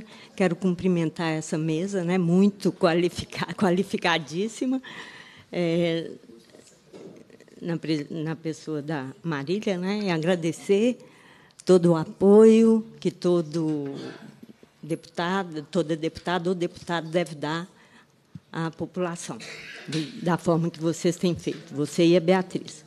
É, primeiro, eu gostaria de falar, eu sou presidenta do Conselho Municipal de Saúde, e um conselho, o Conselho Municipal de Saúde, ele é um órgão vinculado à Secretaria Municipal de Saúde, ele não é subordinado. Então, nós temos independência né? somos deliberativos e a gente auxilia na construção da política, informa ao gestor onde, é, como está a política de saúde no município e sugere, ajuda e fiscaliza até no aspecto financeiro. Né, quanto de dinheiro está sendo colocado em qual equipamento, né, é, nessas questões em relação à saúde. É, então, o Conselho Municipal ele faz uma conferência municipal de saúde de dois em dois anos para poder perguntar para a população o que, que ela quer para a cidade. Em 2017 foi feita uma e, é, e essa conferência ela é feita para construir o plano municipal de saúde, no qual o gestor, a prefeitura e a Secretaria Municipal de Saúde vão, vão incluir nesse plano o que, que vai ser feito nos quatro anos de, de governo. Em 2017, nós fizemos uma conferência né, com a participação de mais de duas mil pessoas para construir esse plano. Uma das propostas mais votadas pela população de Belo Horizonte, representada ali, por todos os conselheiros e por todas as pessoas que votaram, foi no eixo 4, urgência, emergência e atendimento hospitalar, a abertura da maternidade Leonina Leonor em Venda Nova e implementação das práticas baseadas em evidência na atenção à gestação, parto, nascimento, puerpério e abortamento, de acordo com as diretrizes nacionais de atenção ao parto do Ministério da Saúde. Então, isso aqui, essa discussão que a gente está fazendo aqui, ela já foi corroborada pela sociedade, ela já foi pedida para a sociedade. E eu quero dizer, eu, eu represento as usuárias e os usuários no Conselho Municipal de Saúde. Eu não tenho capacidade técnica para poder falar que não deve ser aberto esse centro de parto normal. Nós tivemos aqui explanação de pessoas que estudaram o assunto, que têm o know-how e têm a capacidade de nos mostrar, enquanto nós usuários que não temos esse, né, essa capacidade, nos mostrar é, a evidência científica e a necessidade ou não da abertura de um equipamento de saúde. E o que nós temos visto no país hoje é isso: as pessoas se baseando, tomando opiniões é, de acordo com o WhatsApp e de acordo com o que acha melhor para você. Eu não posso falar que as mulheres não estão parindo mais, como eu tenho ouvido, ouvido usuárias falar. Eu não posso falar que não precisa de leitos obstétricos em BH. Eu não, eu não tenho essa capacidade, entendeu? Eu, como usuária, e, a, e eu estou falando isso aqui para as usuárias e usuários de saúde, que estão se baseando é, em informações da Secretaria Municipal de Saúde, porque o secretário, ontem eu estive numa audiência pública, questionei sobre a abertura, e ele simplesmente fala assim: não, eu não vou correr o risco de uma mulher ser atendida na Leonina e, e, e ela morrer porque não tem uma, um, um lugar para ser atendida. E o Hospital Risoleta Neves, que fica a menos de cinco minutos. E a retaguarda. E lá não, é um, não será uma maternidade, tem que ser um centro de parto normal. Por que eu falo isso? Nós temos lá no Conselho uma Câmara Técnica de Financiamento, no qual a gente estuda toda a grana que entra para gastar com saúde. Vocês pasmem, como eu fiquei pasmada. Até julho, o que foi gasto com a atenção primária, que é a prevenção e a promoção. O, o, ele falou aqui que um centro de parto normal ele diz respeito à atenção primária. Ele tem que estar lá na atenção primária porque é um, um procedimento de baixo risco. É um procedimento de baixo risco. Eu acho que nós, usuárias e usuários, temos que nos apropriar dessas coisas e desses, né, desses é, conceitos para a gente saber do que nós estamos falando. Para a gente poder até falar, não, não precisa ou não precisa. Não pode ser no achismo. A prefeitura ela investiu 90 milhões na atenção básica até, até julho e investiu 754 milhões na média e alta complexidade. Então, o que nós estamos fazendo em termos de promoção e prevenção à saúde? Né? Então, é importante a gente se apropriar dessas coisas, porque quando a gente pede, já foi falado aqui, eu não vou repetir, as pessoas que têm capacidade técnica, tudo, estudos baseados, citou Londres, citou Europa, é, citou aqui ó, a, a, a, tudo do Ministério da Saúde, as portarias, a RDC, que é uma resolução do colegiado da vigilância sanitária que fala como que um equipamento de saúde ele tem que se ser estruturado. Né? Então, nós não estamos falando aqui de desejo meu ou das mulheres ou de quem for, não é um desejo. É um desejo porque a gente quer que as mulheres sejam bem tratadas. Mas não é só porque eu quero que abra o parto normal. Eu acho que isso a gente tem que, tem que sair dessa coisa de é, é, achismo. Não, é porque não vai dar certo, porque a mulher vai morrer. Não.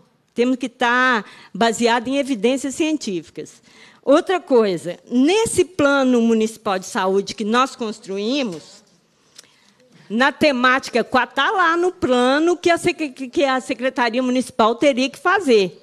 Está lá na, na atenção hospitalar, no ponto 4.24, olha, olha o que está escrito no Plano Municipal de Saúde de Belo Horizonte, que teria que ser implantado até 2021.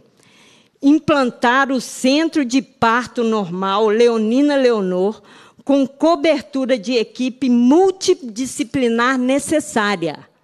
Isso, o indicador é o centro de parto normal e, e pela programação teria que ser feito em 2018. Já aconteceu, já fomos ao Ministério Público, já pedimos apoio, já, o, o, o promotor ele abriu uma, né, uma, um termo que eles falam lá, até esqueci, Não, não, eles falam que quando pede para o um município é, executar. É, é. Então, o, o, Ministério Público já, já pediu, o Calil aceitou, né? estava tudo certo para esse centro de parto normal abrir até o primeiro semestre de 2018, como foi acordado com a Prefeitura, com a Secretaria Municipal. Mas, simplesmente, né, por ordens ideológicas, políticas, né, e por desconhecimento de nós, usuárias e usuários, que somos 50% desse controle social, não estamos tendo a capacidade de pressionar a secretaria e a prefeitura para abrir esse centro de parto normal. Não adianta eu ver. Olha, eu tenho um neto que nasceu no Sofia Feldman. Eu vi um parto normal acontecer. Eu participei disso. Eu acompanhei várias mulheres. Né? Então, eu, eu tenho uma experiência. Eu não posso vir aqui e falar assim, não, isso não vai ser bom para a mulher. Intercorrências acontecem. Tragédias acontecem. Mas a gente não pode falar que a mulher vai morrer se tiver um parto normal né, se, for, se for atendida na Leonina. Eu acho que nós precisamos de estudar mais, precisamos de nos é, apropriar desses conceitos. Acho que a gente tem que fazer uma mobilização, sim, com toda a população, corroborando a ideia da Marília, e temos que informar a população, ir lá para a porta da prefeitura, arrumar panfletinho e informar o que é, parto, o que é um parto normal, o que é uma cesárea, o que é um centro de parto normal, por que, que nós queremos, informar, ir para a imprensa, né, explicar, ir para os distritos, para as reuniões dos distritos, pautar nas comissões locais de saúde e informar aos conselheiros e a todo mundo, gente né, informar, a gente precisa de ser bem informado para poder lutar por alguma coisa. Tá? E quero só concluir falando. Não existe ambiência adequada em BH para as mulheres terem o, os seus bebês, como ele disse. O Calil disse que não ia construir nada, ia colocar para funcionar o que já existia e a gente já tem um equipamento que já foi gasto mais de 2 milhões nele. Então, eu acho que a gente tem que ir por aí. O Conselho Municipal ele apoia essa iniciativa. Né? Tem muito conselheiro que não apoia, a gente sabe disso, mas é a minoria, a maioria apoia. Né? E, um, e numa democracia é assim, a gente não vai brigar, não somos inimigos de ninguém. Vamos tentar estudar e mostrar para as pessoas da necessidade. Tá? Muito obrigada. Obrigada, Carla. Nós vamos ouvir agora algumas pessoas que se inscreveram. São cinco. Nós vamos dar três minutos para cada uma, devido ao adiantado da hora, mas eu queria só registrar que eu acho que faltou aqui nessa mesa a gente ter é, alguma experiência de centro é, em funcionamento, não no modelo do Sofia, mas de outros lugares, comunitários, centro de CPN, né?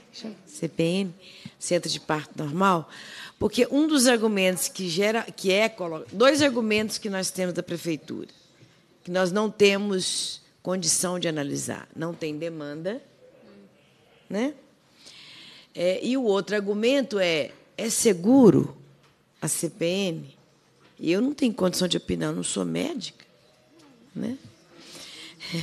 Então, nós precisamos de ter essa experiência registrada. Talvez num próximo debate a gente convide Brasília, Brasília, né? depois Rio de Janeiro, Rio de Janeiro é. talvez fazer um debate com os centros em funcionamento para a gente enfrentar, né? É, enfrentar esse problema é seguro ou não é para as mulheres, tá?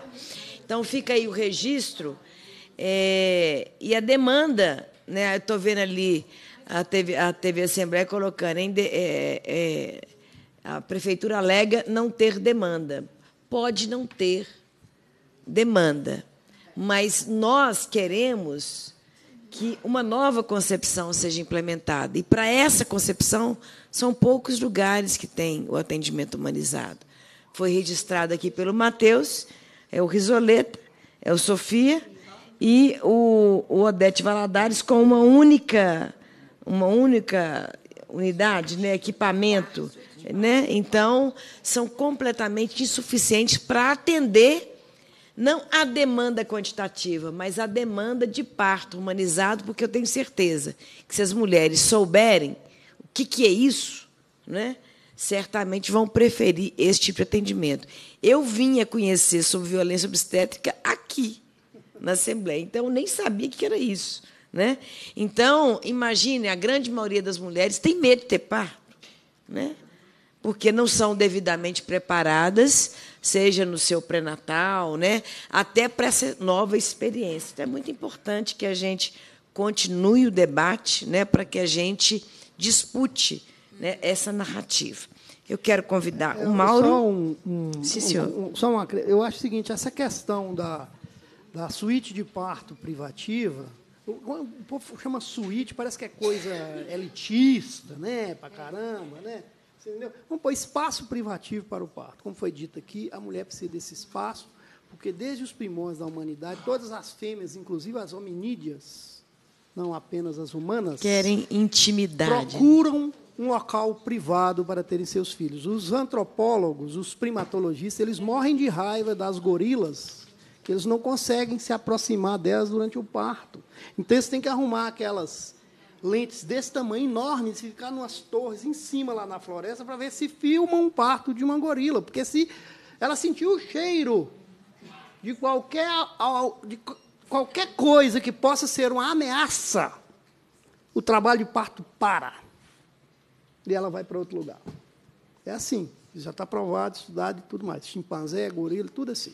Humano também é que nós herdamos 90 e tantos por cento do nosso DNA, é 98, não sei quantos por cento de chimpanzé. Tá? É a mesma coisa. Tá? Então, assim, essas quartos de parto é um absurdo que no Brasil hoje, em grandes centros urbanos, que tem recursos, vai dizer que não tem recursos, que tem sim, sabe? As mulheres ainda têm que ter seus filhos e ter o trabalho de parto em espaços coletivos. Isso é inaceitável hoje. Inclusive, nosso Paulo Sofia Felbre, a gente gostaria de ter, não era cinco, não, a gente gostaria de ter 13 suítes de parto. Se tivesse recursos para isso, já teria. Você entendeu? É isso. Tem lógica. É, é, apartamento depois do parto para ficar lá, isso aí também é meio luxo. Acho que para o SUS não precisa, não. Mas na hora do parto, precisa. Tá? Ninguém, ter, ninguém ter, quer ter esse momento tão íntimo invadido. quase né? 300 milhões de reais para construir um hospital geral. Não sou contra ele, não, no Barreiro. Mas as mulheres e crianças são esquecidas. Ou seja, ninguém se preocupa com o início da vida. Obrigada, doutor João. Mauro, três minutos. Ok. Bom dia a todos. Cumprimentar aí a a Marília. Marília, é muito bom ver que você continua abraçando. Significa que breve, breve, contagem vai ter um monte de CPM. Isso para gente, CPN, isso para a gente é muito bom. Você foi lá? É, estamos torcendo, né? É, eu faço parte de, da movimentação Venda Nova, que é um grupo que tem tentado dialogar com, com as pessoas que constroem a participação popular, a sociedade civil se organiza em Venda Nova, né? É, e a gente tem dialogado com as pessoas, a gente tem conversado com as pessoas.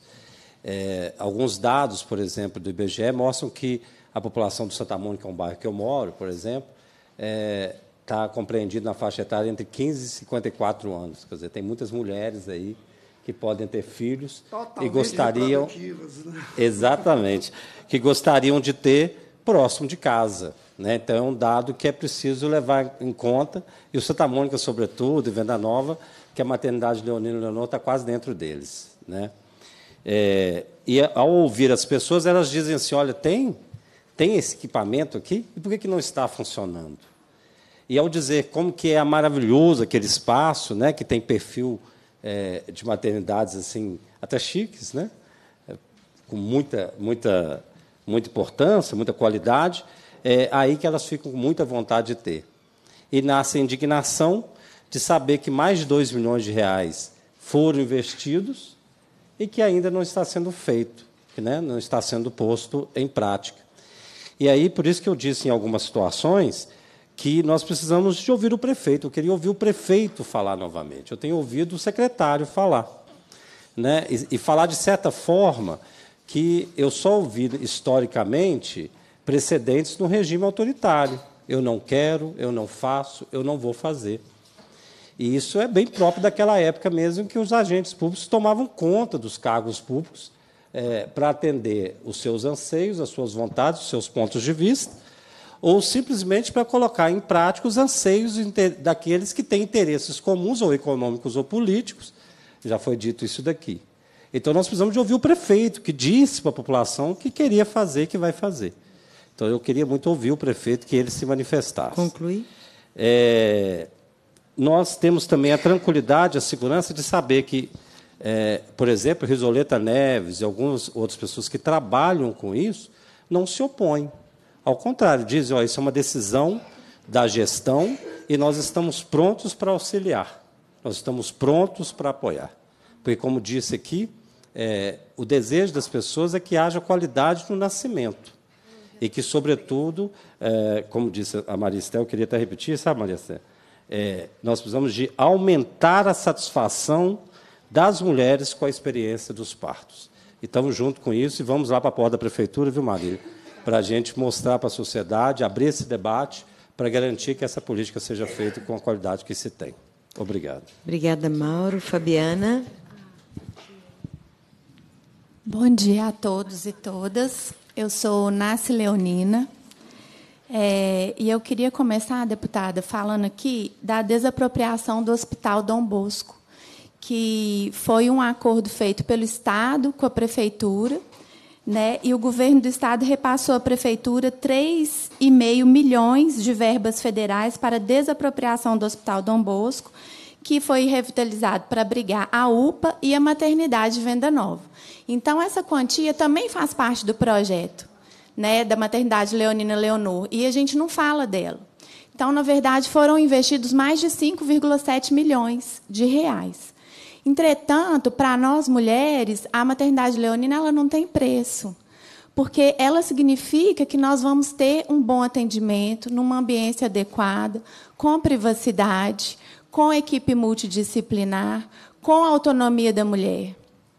Eu trabalho com grupos de gestantes e puérperas e no ISTA, no Lumiar, é, nas Sentidos do Nascer, é, e não tem um encontro em que uma ou mais mulheres não chorem por causa da violência que elas sofreram em seus partos.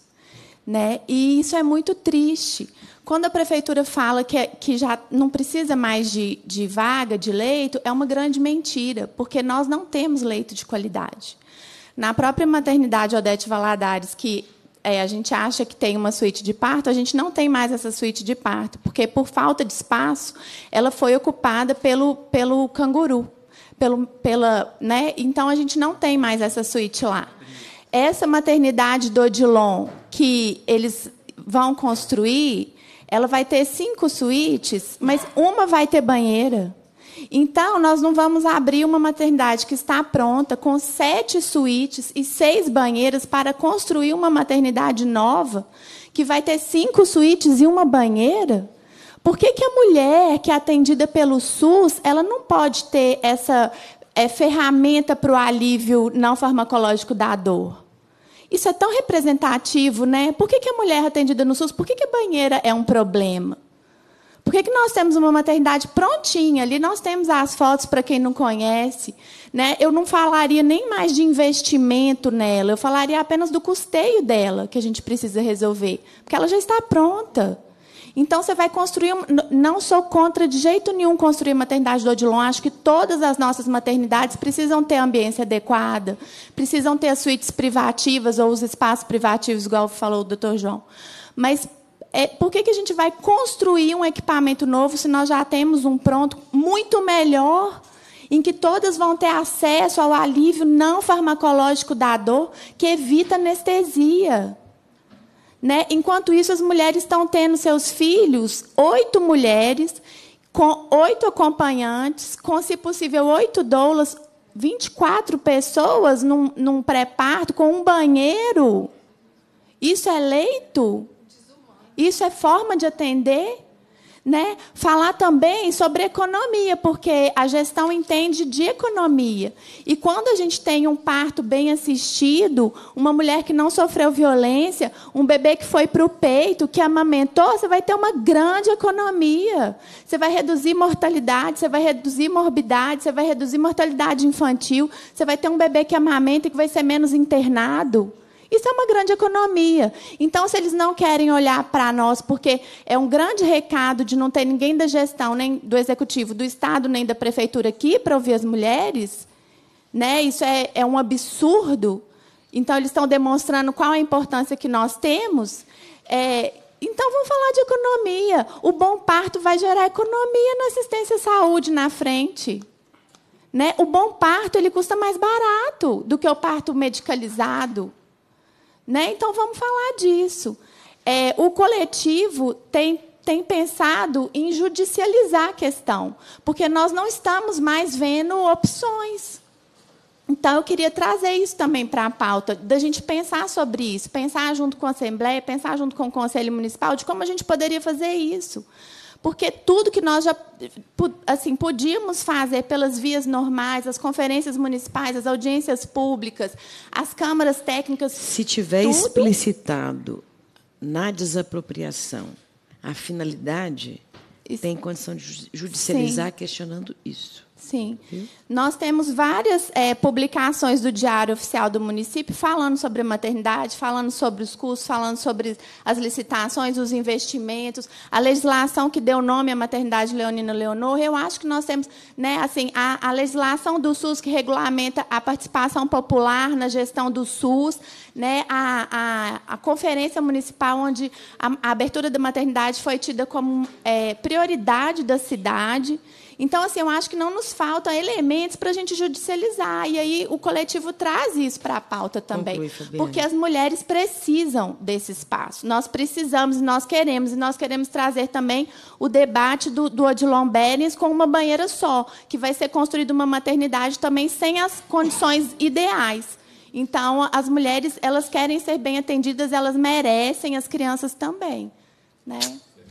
Obrigada. Arlene missionária. Bom dia a todos. Bom dia ao movimento Leonina. Bom dia ao movimento de Venda Nova, né, Mauro, que está aqui.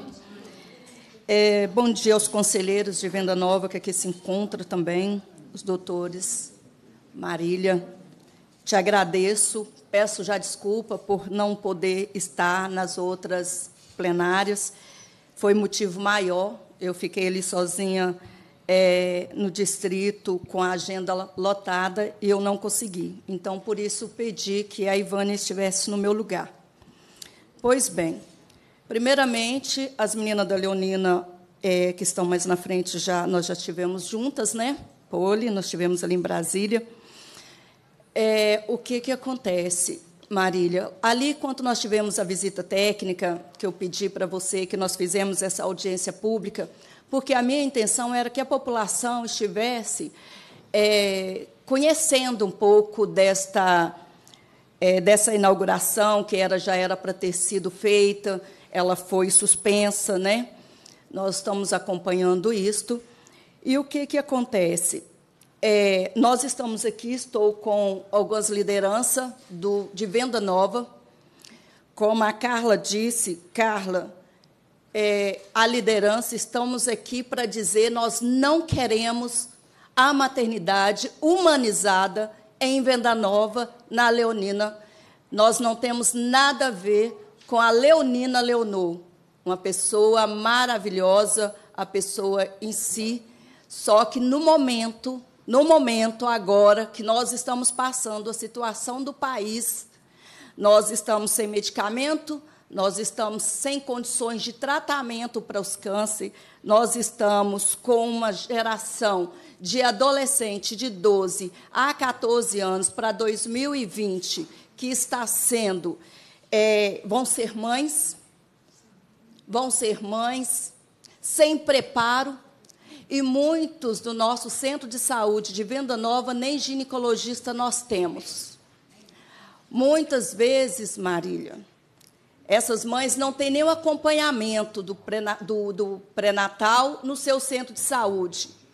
E o centro de saúde que está tendo apoio ao ginecologista para o bairro vizinho fica sobrecarregado porque essa população não tem condições de ser atendida dignamente porque esses, essas demanda é tão grande que, às vezes, a demora para um ginecologista é de cinco a seis meses, a não ser que ela, ela esteja grávida. Aí, sim, coloca aí dois meses para ser atendida. Então, nós não temos ginecologista é, para estar fazendo o pré-natal destas gestantes novas que estão chegando, essas adolescentes. Pois bem, o movimento é, dos conselheiros, nós resolvemos agora, porque, como vocês disseram, o doutor Jackson e o, Alexandre, e o prefeito Alexandre Calil, ele tinha se colocado, depois que ele foi, o Calil foi ver como que seria a situação, ele se colocou realmente contra. Mas, por outro lado, nós não íamos impor se a maternidade fosse uma maternidade é, equipada com todos os seus, os seus é, dentro da lei, vamos dizer assim. É, o doutor João Batista disse que as gorilas, né, elas não aceitam ser assistida para fazer o seu parto. Doutor João Batista, eu quero dizer para o senhor que eu, então, eu sou uma é, gorila, porque eu não aguento colocar a mão em mim quando eu estou em trabalho de parto. Eu sou mãe há quatro vezes e eu não aguento que coloque a mão em mim. Não consigo. É, tive problemas também com algumas pessoas, alguns rapazes que me dizem para mim que é, que eles são sim a favor da Leonina. Nós estamos aqui questionando é, as possibilidades. Só que acontece que eu me aceito questionar com qualquer homem a respeito de, de parto e da leonina, do parto humanizado, ou uma cesárea, ou um parto normal, se ele parir. Porque eu vou dizer para você, todos vocês aqui, nós mães, nós aqui no Brasil ensinamos aos nossos filhos que o parto normal é o melhor e que evita o parto cesárea. Mas nós sabemos que o parto ele é uma caixinha de surpresa e muitas vezes nós não temos nem cinco minutos para socorrer essa mãe, quanto mais transferir para uma maternidade mais longe. Por que não colocar essa maternidade já dentro do, do risoleta? Não tem lugar? Ou o que é que está acontecendo ali no risoleta? Porque eu acredito que eles já têm um trabalho ali humanizado que poderia simplesmente é, aumentar a possibilidade de ser atendido um espaço para que a leonina fosse é, feita ali. Eu gostaria também, Marília, de dizer para você que a UPA de Venda Nova é precária. As pessoas ficam ali com frio, as pessoas ficam ali, ali no, no corredor e muitas vezes não têm condições de ser atendidas ali. Então, nós queríamos muito que olhasse. Nós pedimos o centro de especialização a mulheres ali no local da Leonina, ou que ela fosse ali, tem condições de aumentar os leitos ali da UPA para atender a população. Nós queremos condições de atender a população. Agora eu deixo para vocês. Conclui, Aline. Eu deixo para vocês que nós conselheiros, nós conselheiros de Venda Nova, estamos agora dispostos, porque nós não queríamos isso, nós somos aqui é, pessoas civilizadas, então, nós estamos dispostos a trabalhar com vocês no contra a Leonina. Então, vocês, nós vai fazer sim, vocês podem fazer o movimento porque esse movimento já está aí desde 2009, se eu não me engano. E nós estamos chegando agora porque nós estamos começando a ser informados diretamente agora. Então, eu gostaria que vocês não nos levassem a mal. Não nos levassem a mal, porque vocês estão colocando aqui técnicos e nós aqui estamos diretamente ligados dentro das casas desses moradores e de peito a peito com eles. E se vocês, só para lembrar vocês, o mês todo, na Itatiaia, se falou da família que teve as crianças nascidas no Sofia Feltman. O mês todo foi falado sobre as crianças e as mães e a criança que acabou de falecer lá. Não vamos pensar que é apenas mais um, mas são mães que choraram, como o doutor João Batista, João Batista falou. Tem dor, é social, é psicológico. As pessoas sentem dor pelas percas das suas Conclui. famílias ali dentro. Então, por favor, não nos leve a mal, mas estamos aqui os conselheiros e representantes de Venda Nova dizendo a vocês não à maternidade humanizada leonina. Obrigada. Obrigada. É, a, com licença, só mais um minutinho. Conclui. Maria do Carmo, ela questiona por que essa discussão está tão avançada, mas até o movimento, a população de Venda Nova não foi chamada para discutir. A Leonina Leonor. Por que só a população sabe o que mais precisa na região, que é o aumento do leito nas urgências e emergência. Precisa é de regularizar maternidades que já está existente nos moldes atuais. Queremos sim um atendimento humanizado para mulheres, mas agora não é o momento ou arrumar outro outro espaço e humanizar o que já tem é humanizar o que já tem. Nós queremos sim, nós queremos que nossas mães, nossas mulheres sejam bem tratadas em todas as maternidades, em todas as maternidades. Não é só em uma. Obrigado. Obrigada, Aline. Passar agora para Deonara, é, núcleo da Marcha Mundial das Mulheres de Venda Nova. Antes da Deonara é, colocar, nós temos, então, uma polêmica. Né? É, eu não tenho. Aqui é um, é um espaço onde é, se propõe a ser voz desse movimento, né? nasce Leonina. Mas existe claramente, e é legítimo, né, essa divergência que eu acho que a população de Belo Horizonte tem que reivindicar um espaço dentro do Conselho Municipal que, na minha opinião, seria o espaço mais apropriado para tratar, junto com a prefeitura, do atendimento à saúde não apenas das mulheres, mas da população no território de Venda Nova. Porque me parece que a reivindicação que vocês apresentam não seria apenas o atendimento à mulher, mas todo o atendimento de urgência né, e também de atenção básica à população no território. Então, eu acho que é um espaço que deveria ser reivindicado né, para a prefeitura. É claro que a gente aqui é um espaço democrático, a gente está ouvindo as mais diversas opiniões, mas eu não acho que seria é, prudente e, e, nem correto a gente é, é, talvez trazer o dilema isso ou aquilo, né? é, é, não, se trata disso. Nós queremos um bom atendimento para a população na atenção básica, um bom atendimento para a população na urgência e um sistema humanizado de atendimento para as mulheres. Todos nós queremos isso aqui, não é? Então, qual é a estratégia que nós iremos adotar? Eu creio que precisa ser aprofundado isso na reunião territorial da população de Belo Horizonte. Nós aqui somos vós, tá bem, Aline? É, Deonara. Então, é, eu sou lá de Venda Nova e já participei de vários espaços de construção é, da participação popular é, nas conferências, tanto de saúde como nas conferências de política pública para as mulheres.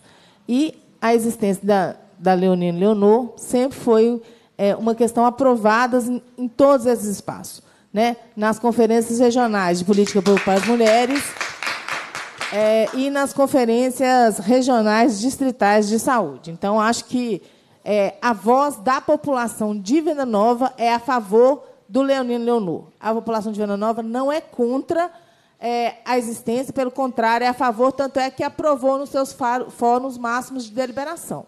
Então, acho que as pessoas é, têm que ter. A gente precisa partir desse pressuposto, né?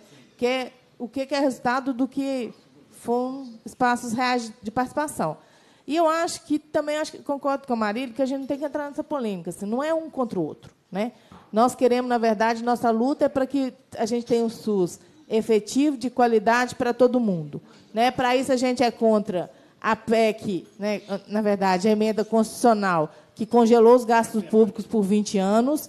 A gente é contra o corte de recursos que está sendo feito é, a nível federal aí, nos recursos do SUS, a nível estadual também. A gente acha que tem que ter mais recursos no SUS. É isso que vai garantir uma boa assistência e a gente também defende que toda assistência tem de ser humanizada, né, em todos os, os campos, na urgência, em todos os, os níveis. E para as mulheres, eu acho que a gente é fundamental a gente ter uma questão importante. O parto é uma experiência inesquecível para todas as mulheres.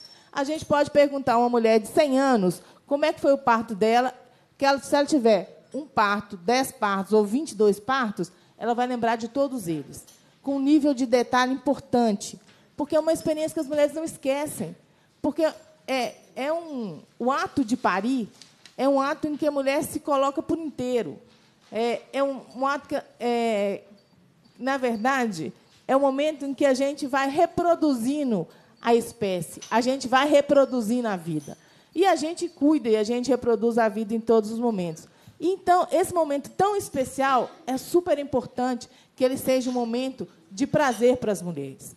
Né? É muito ruim é, as mulheres que sofrem violência obstétrica, as mulheres é, que, têm, é, que têm o seu momento de parir, é, ou é, situações de violência, ou elas tenham perdido toda a possibilidade de intervir no seu momento de parir, que é a questão da, né, que a gente tem aí a epidemia de cesariana agendada, porque os médicos dizem para as mulheres que elas não são capazes, quando, na verdade, elas são capazes. E as mulheres levam para, para a vida inteira essa, achar que não são capazes. E se não são capazes de parir, não são capazes de muito outras coisas. Então, parir é um momento muito importante na vida das mulheres.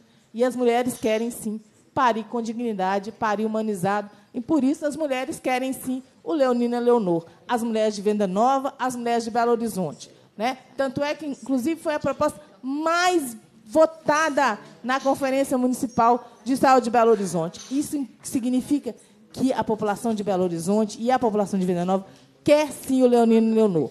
Então, a gente não pode, é, a gente não pode dizer em nome das pessoas o que as pessoas disseram ao contrário. Então, as pessoas disseram que querem.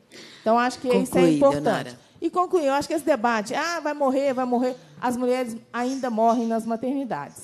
Se as maternidades estivessem evitando a morte das mulheres, a gente não teria uma taxa tão alta de mortalidade materna como a gente tem no Brasil atualmente. Né? É, então, acho que isso é super importante, a gente ter clareza que essa luta é uma luta nossa, é uma luta das mulheres de Venda Nova, é uma luta da população de Venda Nova. Né? Estão aqui vários movimentos, né? Que dizem isso, que são movimentos que representam Venda Nova, e os espaços de controle social também, que, que a população de Venda Nova participou, também disseram isso. Então, eu acho que é isso que é importante. Obrigada, Deonara. Olha, a última que está inscrita é a Isa, e eu quero é ponderar aqui, porque a gente, quando entra numa luta, quanto mais consensos a gente constrói, melhor para a gente poder alcançar o objetivo da gente, né? Às vezes a gente valoriza muito aquilo que nos diverge e a gente valoriza pouco as nossas convergências. E nós estamos vivendo a realidade, como a própria Deonara disse, que nós temos cada vez menos é, recursos para os investimentos nas políticas sociais, em particular a saúde. Né? Então, é momento agora da gente tentar buscar consensos. Foi dito aqui que nós temos uma resolução da Conferência Municipal de Saúde, né, que definiu um objetivo para aquele equipamento público. Mas dessa conferência aconteceu há dois anos atrás. Não é isso? Junho de 2017. Agora nós temos um novo movimento que surge, que foi aqui relatado pela Aline, Arline. Né? Eu não estou discutindo aqui a força de um, a força de outro, a legitimidade de um, a legitimidade de outro, mas está colocado aqui, explicitado, que existe um polo divergente no território. Então, o que nós temos que fazer aqui é apelar ao prefeito diálogo. Diálogo com todos esses movimentos que hoje têm conflito no território. Cabe ao prefeito dialogar. Então, nós estaremos, eu, enquanto comissão de mulheres, nós utilizaremos o espaço político que nós temos para fazer uma provocação à prefeitura para que ela dialogue. Dialogue com Nasce Leonina, dialogue com os conselheiros que compõem o conselho, dialogue com o Corém, dialogue com o Conselho Municipal, dialogue com os movimentos para tentar achar um consenso. Foi dito aqui é, é da, do hospital. Não, lá de perto. O Risoleta. O Risoleta está trabalhando incansavelmente para reformar e ampliar. É, inclusive, eu coloquei emenda parlamentar, assim como coloquei no Sofia, estou colocando no Risoleta. Né? É, então, é muitíssimo importante fazer esse apelo. Não vamos tentar finalizar aqui é, é, é, colocando, olha, tem uma polêmica, né? Olha, tem. Mas que tal, prefeitura, prefeito Calil, dialogar com a polêmica e tentar construir um consenso para melhorar a saúde no território e na cidade também. Então, fica o meu recado. A gente abraça essa luta que vocês espelham aqui, né? mas a gente abraça também, também o Nasce Leonina e o que a gente puder ajudar para construir o consenso é o que nós faremos. Tá bem? A última, Isa. Bom dia. Sou Isa. Eu quero falar aqui, principalmente enquanto mulher negra gestante. Eu morei a vida toda é, na região de Venda Nova, no bairro Minas Caixa, recentemente que eu me mudei. Tenho minha família toda lá na região é, norte. É, e eu queria falar porque quando, sempre quando a gente fala sobre a maternidade, sempre quando a gente fala sobre políticas de é, parto ativo, a resposta é que é muito caro. Eu tive essa resposta de várias pessoas. Ah, mas é muito caro fazer isso. E aí eu queria discutir, então, o que, que é caro? O que, que é caro? Porque é caro é, colocar em funcionamento uma maternidade que já foi gasto 5,7 milhões de reais para poder estar tá lá, e é caro colocá-la em funcionamento. E é caro, é engraçado que é caro tudo em venda nova. Tudo para venda nova é caro. É caro reformar, não tem dinheiro para reformar a avenida, não tem dinheiro para saúde, os centros de saúde aí podem, as mulheres falaram sobre como é. Não tem dinheiro para transporte bom lá, não tem dinheiro para saneamento básico em Venda Nova. Não tem dinheiro para nada. Agora você pergunta se num bairro da Zona Sul tem enchente. Você pergunta se alguém morre na enchente num bairro da Zona Sul. Lá ninguém morre de enchente. E para nós tudo é caro. E para a periferia tudo é caro. E eu estou falando isso principalmente porque eu quero dizer o seguinte: as mortes femininas, as mortes maternas, a violência obstétrica, ela atinge as mulheres e atinge principalmente mulheres de que têm raça, mulheres que têm classe social e mulheres que têm endereço. Que são mulheres negras, mulheres pobres, trabalhadoras, e mulheres que moram nas periferias. Essas são as mulheres as mais atingidas. E para não falar das ocupações, né? Tenho certeza que se André tivesse aqui, iria falar sobre a realidade das mulheres das ocupações. Onde a gente tem relato de mulheres que, em trabalho de parto, vão a pé de uma ocupação até a maternidade. E acaba que com isso tem complicações no seu parto. E acaba que com isso pode chegar até o óbito fetal. Então, gente, estou falando isso, sabe por quê? Porque agora que eu estou pesquisando sobre como ter um parto respeitoso em Belo Horizonte, como fazer isso, a gente local. percebe. Oi? Não tem local. A gente percebe o seguinte: quem tem dinheiro, infelizmente a política é assim: quem tem dinheiro paga. Quem tem dinheiro paga. Quem tem dinheiro paga o médico particular, e aí é não sei quantos mil reais. Quem tem dinheiro paga enfermeira particular, e é não sei mais quantos. Quem tem dinheiro paga, gente. E quem não tem dinheiro? E quem não tem dinheiro? Fica à mercê. Fica à mercê dos planos de saúde, que são uma bosta, que não são bons tratamentos nos planos de saúde, esse que a gente tem condição de ter. E fica à mercê dos corredores. Tem um trabalho de parto em corredor. Outro dia eu tive que ir numa maternidade porque estava passando mal e vi lá mulheres em trabalho de parto lá, junto comigo, que estava sendo medicada e tudo mais. Fica à mercê das, das cesáreas, de procedimentos cirúrgicos desnecessários, de intervenções necessárias.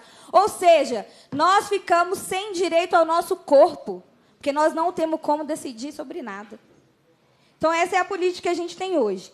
Então, quando a gente pesquisa, a gente fala assim, ah, eu quero ter um parto respeitoso. Qual é a nossa única saída?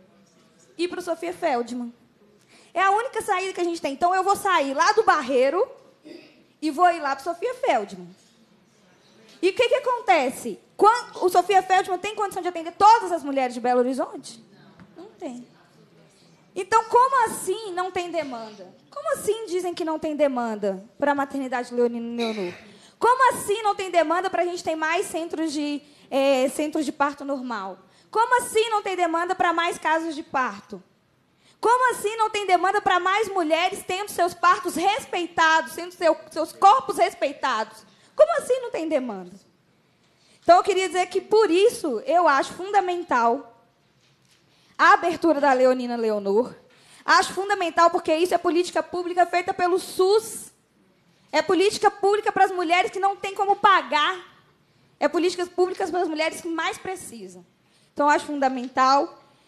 Belo, é, é, Venda Nova aí, a gente já sabe, né? 70% das mulheres de Venda Nova não têm seus filhos na região, não tem seus filhos perto de suas casas, tem que sair para outra região. Tem um dos maiores índices de, é, de mortalidade infantil. Então, nós precisamos de política completa para a região de Venda Nova. E política completa para a região de Venda Nova, nós precisamos construir entre nós. Que é, sim, melhor atendimento nos centros de saúde, que é, sim, melhor atendimento para as mulheres, e é, sim, uma maternidade onde já está construída e que as mulheres podem ter seus corpos respeitados. Então, eu acho que a gente precisa assim, discutir a complementação da leonina com o, com o risoleta. Conclui. Precisamos, sim, ocupar as ruas com esse debate e levar isso para a população. E acho que a gente precisa construir boletins informativos para a gente discutir com a população esse tema e, quem sabe, realizar uma audiência pública em praça pública lá em Venda Nova com as mulheres da região. Oh, é seria isso, uma boa ideia.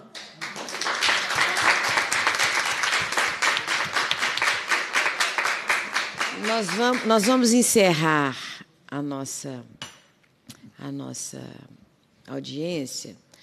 Eu vou dar, pela mesa aqui, nós vamos convidar a Carla para dois minutinhos de encerramento e a Apolo dois minutinhos.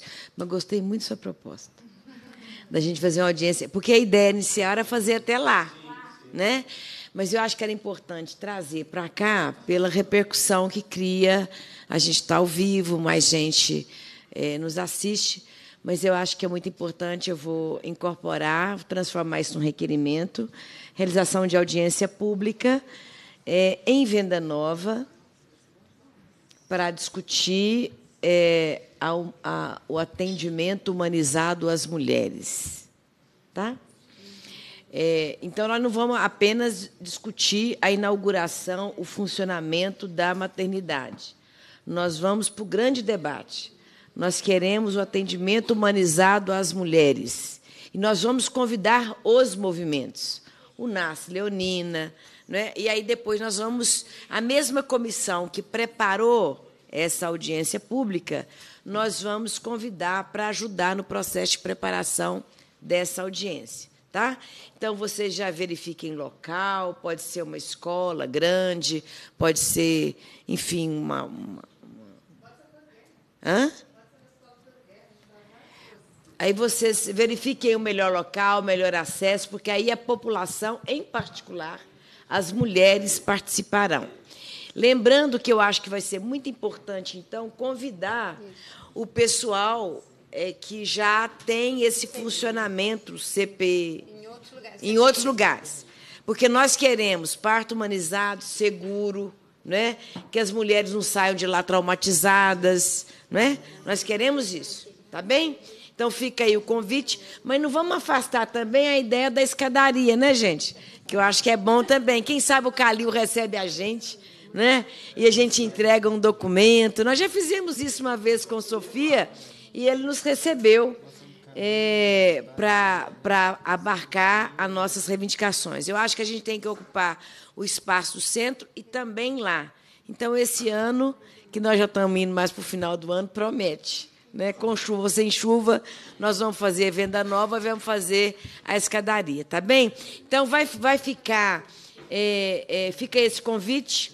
Eu só peço que todos e todas que participaram da organização da reunião procurem a, a Lorena e a Bernadette no final aqui para confirmar que querem participar da organização desse processo, porque é importante, viu, gente? Ah, não era aqui, era aqui, era para chamar esse, não era para chamar aquele.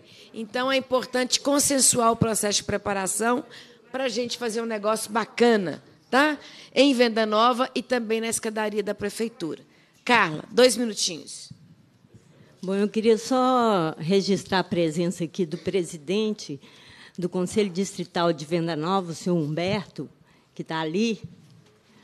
E o xerife, ele é presidente do Conselho Distrital de Venda Nova. Não é não? Ele é o quê? Ele é, da Minas Caixa, né, senhor, Humberto? É, nosso parceiro. É. É, da Minas Caixa. Então, vocês me desculpem. Eu, tô, eu queria, eu estou marcando isso pelo seguinte: eu queria fazer uma, eu queria fazer uma proposta. Ah, é, o Edeval, o trabalhador da, da prefeitura. É, o Edeval, desculpa. É porque seu Humberto é uma pessoa muito cara para nós, né, seu Humberto? Eu já estou elegendo o senhor como presidente do Conselho Distrital de Venda Nova, usuário do SUS. Bom, para concluir é o seguinte: eu quero dizer aqui, é, numa democracia é assim. As pessoas têm posições contrárias e a gente vai discutindo até chegar no ponto melhor para todas. Então, é isso que nós queremos fazer. Então, eu convido a todas vocês e a todos para participar das câmaras técnicas do Conselho Municipal de Saúde, que são espaços em que a gente leva, todo mundo leva suas demandas, suas né, dificuldades, e a gente discute lá na Câmara Técnica. Essa discussão vira uma recomendação, vai à plenária, e assim a gente vai construindo a política de saúde.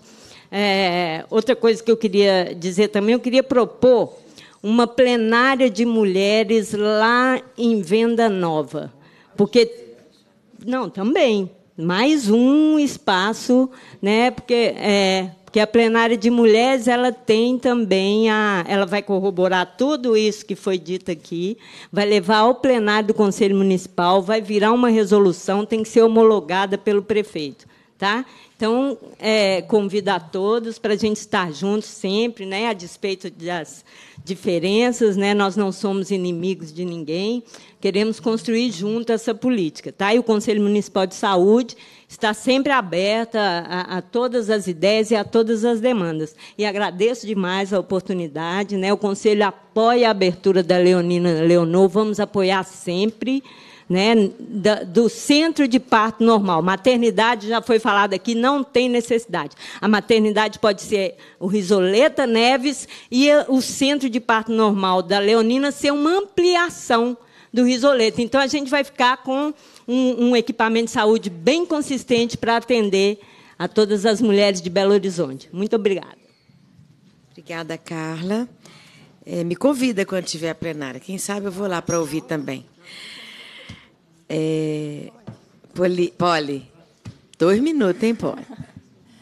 Tá. É, primeiro, eu queria falar que, assim, Arline e todas vocês, assim, eu acolho muito o que vocês trazem, né? É, vejo como a Marília falou que nós temos muitos consensos, né?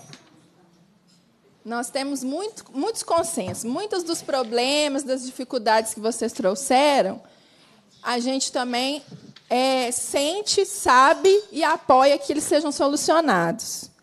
É, entendo que a gente precisa conversar mais mesmo, sabe, sobre tudo isso.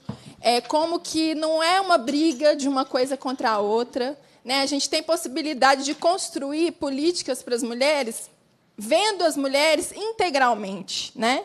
E as mulheres, muitas vezes, né, são elas que sustentam todos os lares. Então, quando a gente cuida das mulheres, a gente está cuidando da sociedade inteira. Né? Então, assim, muitas das preocupações que você trouxe, eu percebo assim que dá para a gente solucionar as duas coisas. E muitos dos problemas que aparentemente são trazidos como é, que o Leonina fosse contrário à resolução deles, é o contrário. Leonina abraça todas essas questões também. Entende? Então, assim, queria marcar né, que o Elson, conselheiro aqui de Venda Nova, também me pediu para falar que, na hora que a Marília foi é, fazer o posicionamento do que elas trouxeram, deu a entender que esse era o posicionamento do Conselho Distrital de Venda Nova. E não é um posicionamento do Conselho. Né? É um posicionamento delas e que está em discussão lá no Conselho Distrital. Me parece que, inclusive, vai ter uma plenária esse mês para discutir esse assunto mais uma vez. E falar que, em 2008, a Leonina ela foi um pedido de venda nova. Né? Eu não entendo por que, que algumas pessoas mudaram esse posicionamento. Várias vezes, várias mulheres de venda nova estiveram conosco nas visitas técnicas, das audiências públicas. Aconteceu alguma coisa que, tá, que elas estão expressando verbalmente que são contra, mas eu, no fundo, acho que não são contra. Porque, como eu vi aqui, a gente consegue conciliar tudo com a Leonina. Conclui. É uma questão da gente conversar e, e negritar mesmo todas essas questões. E, assim, a pedido da deputada Andréa de Jesus, posicionar aqui né, os requerimentos, Marília, que você está propondo, assim, para a André assinar junto, né, audiência pública em venda nova, e também a Câmara Municipal, né, na Comissão de Mulheres da Câmara Municipal, também participar dessa construção, dessa audiência pública lá no território, que vai ser super importante. É isso. Só tá. concluir, o, o Poliano, que você me dirigiu. É, o Elso, ele é do Conselho do Jardim Europa, se eu não me engano, se não me foge agora a memória. E nós não estamos aqui para brigar é, com movimento, Exato. com você, com pessoa, de maneira nenhuma. Isso nós mesmo. estamos aqui colocando o que Sim. nós achamos, o que nós queremos uhum. é o melhor para nossas mães e para os nossos moradores uhum. de Venda Nova. Uhum. Tá? Quero poder dizer para você agora que é um posicionamento, sim, dos conselheiros usuários, sim, de Venda Nova. Portanto, nós estamos aqui todos em conselheiros e nós pedimos, sim, uma, reuni uma plenária agora, no próximo mês, para a gente poder estar discutindo, sim, vocês vão ser convidadas, uhum. porque para nós estar tá colocando como que é o, realmente o funcionamento da Leonina Leonor. Tá?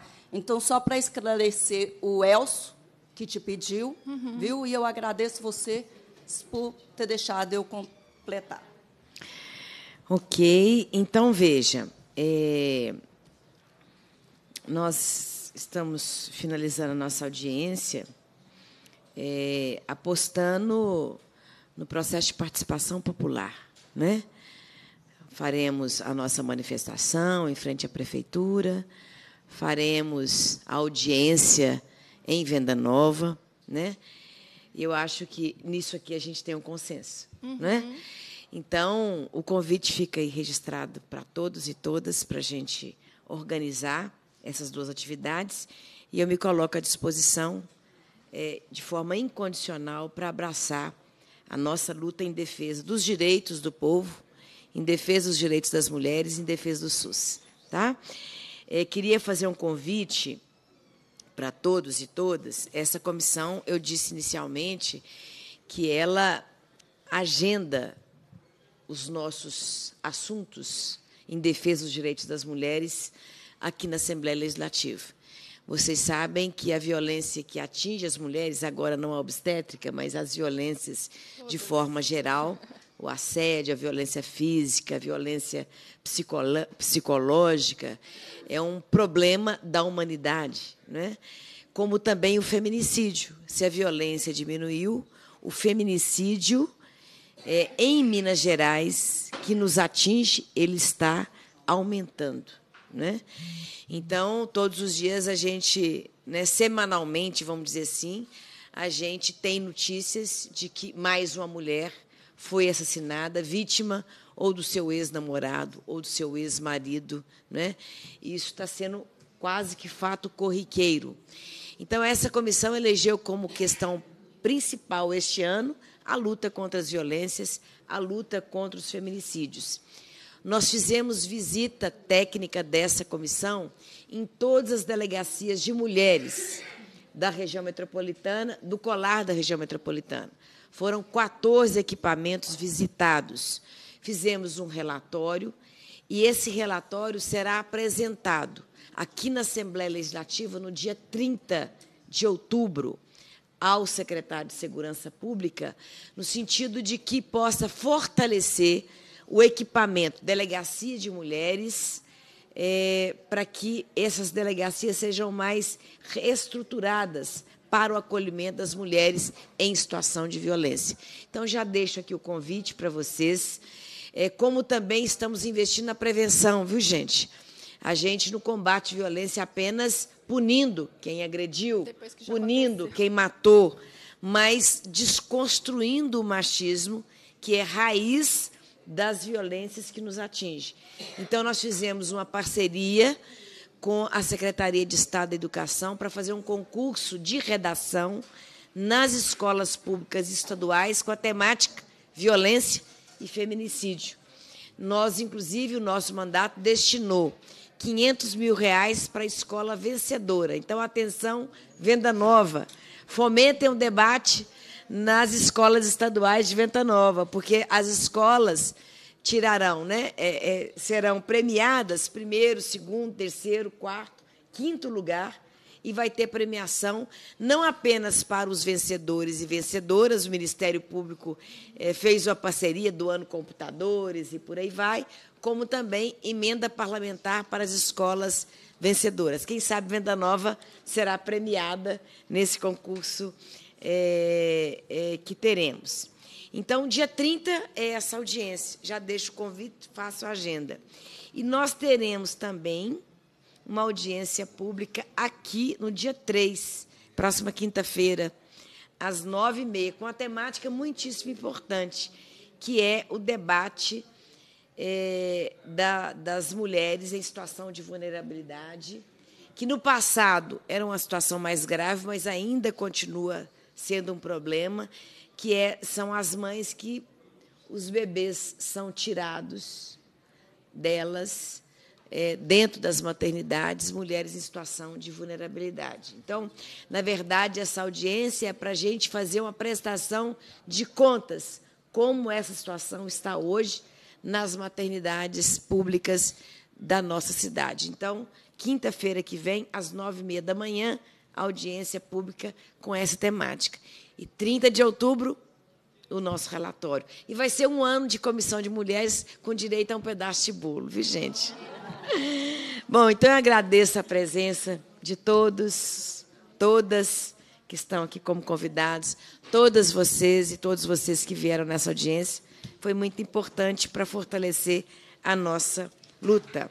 Cumprida a finalidade da reunião, a presidência agradece a presença dos parlamentares, dos convidados, informando que eu não posso incluir a Andréia no, no, no, no requerimento, mas ele só será votado na próxima. Se ela quiser assinar, ela procura assessoria diretamente para poder assinar.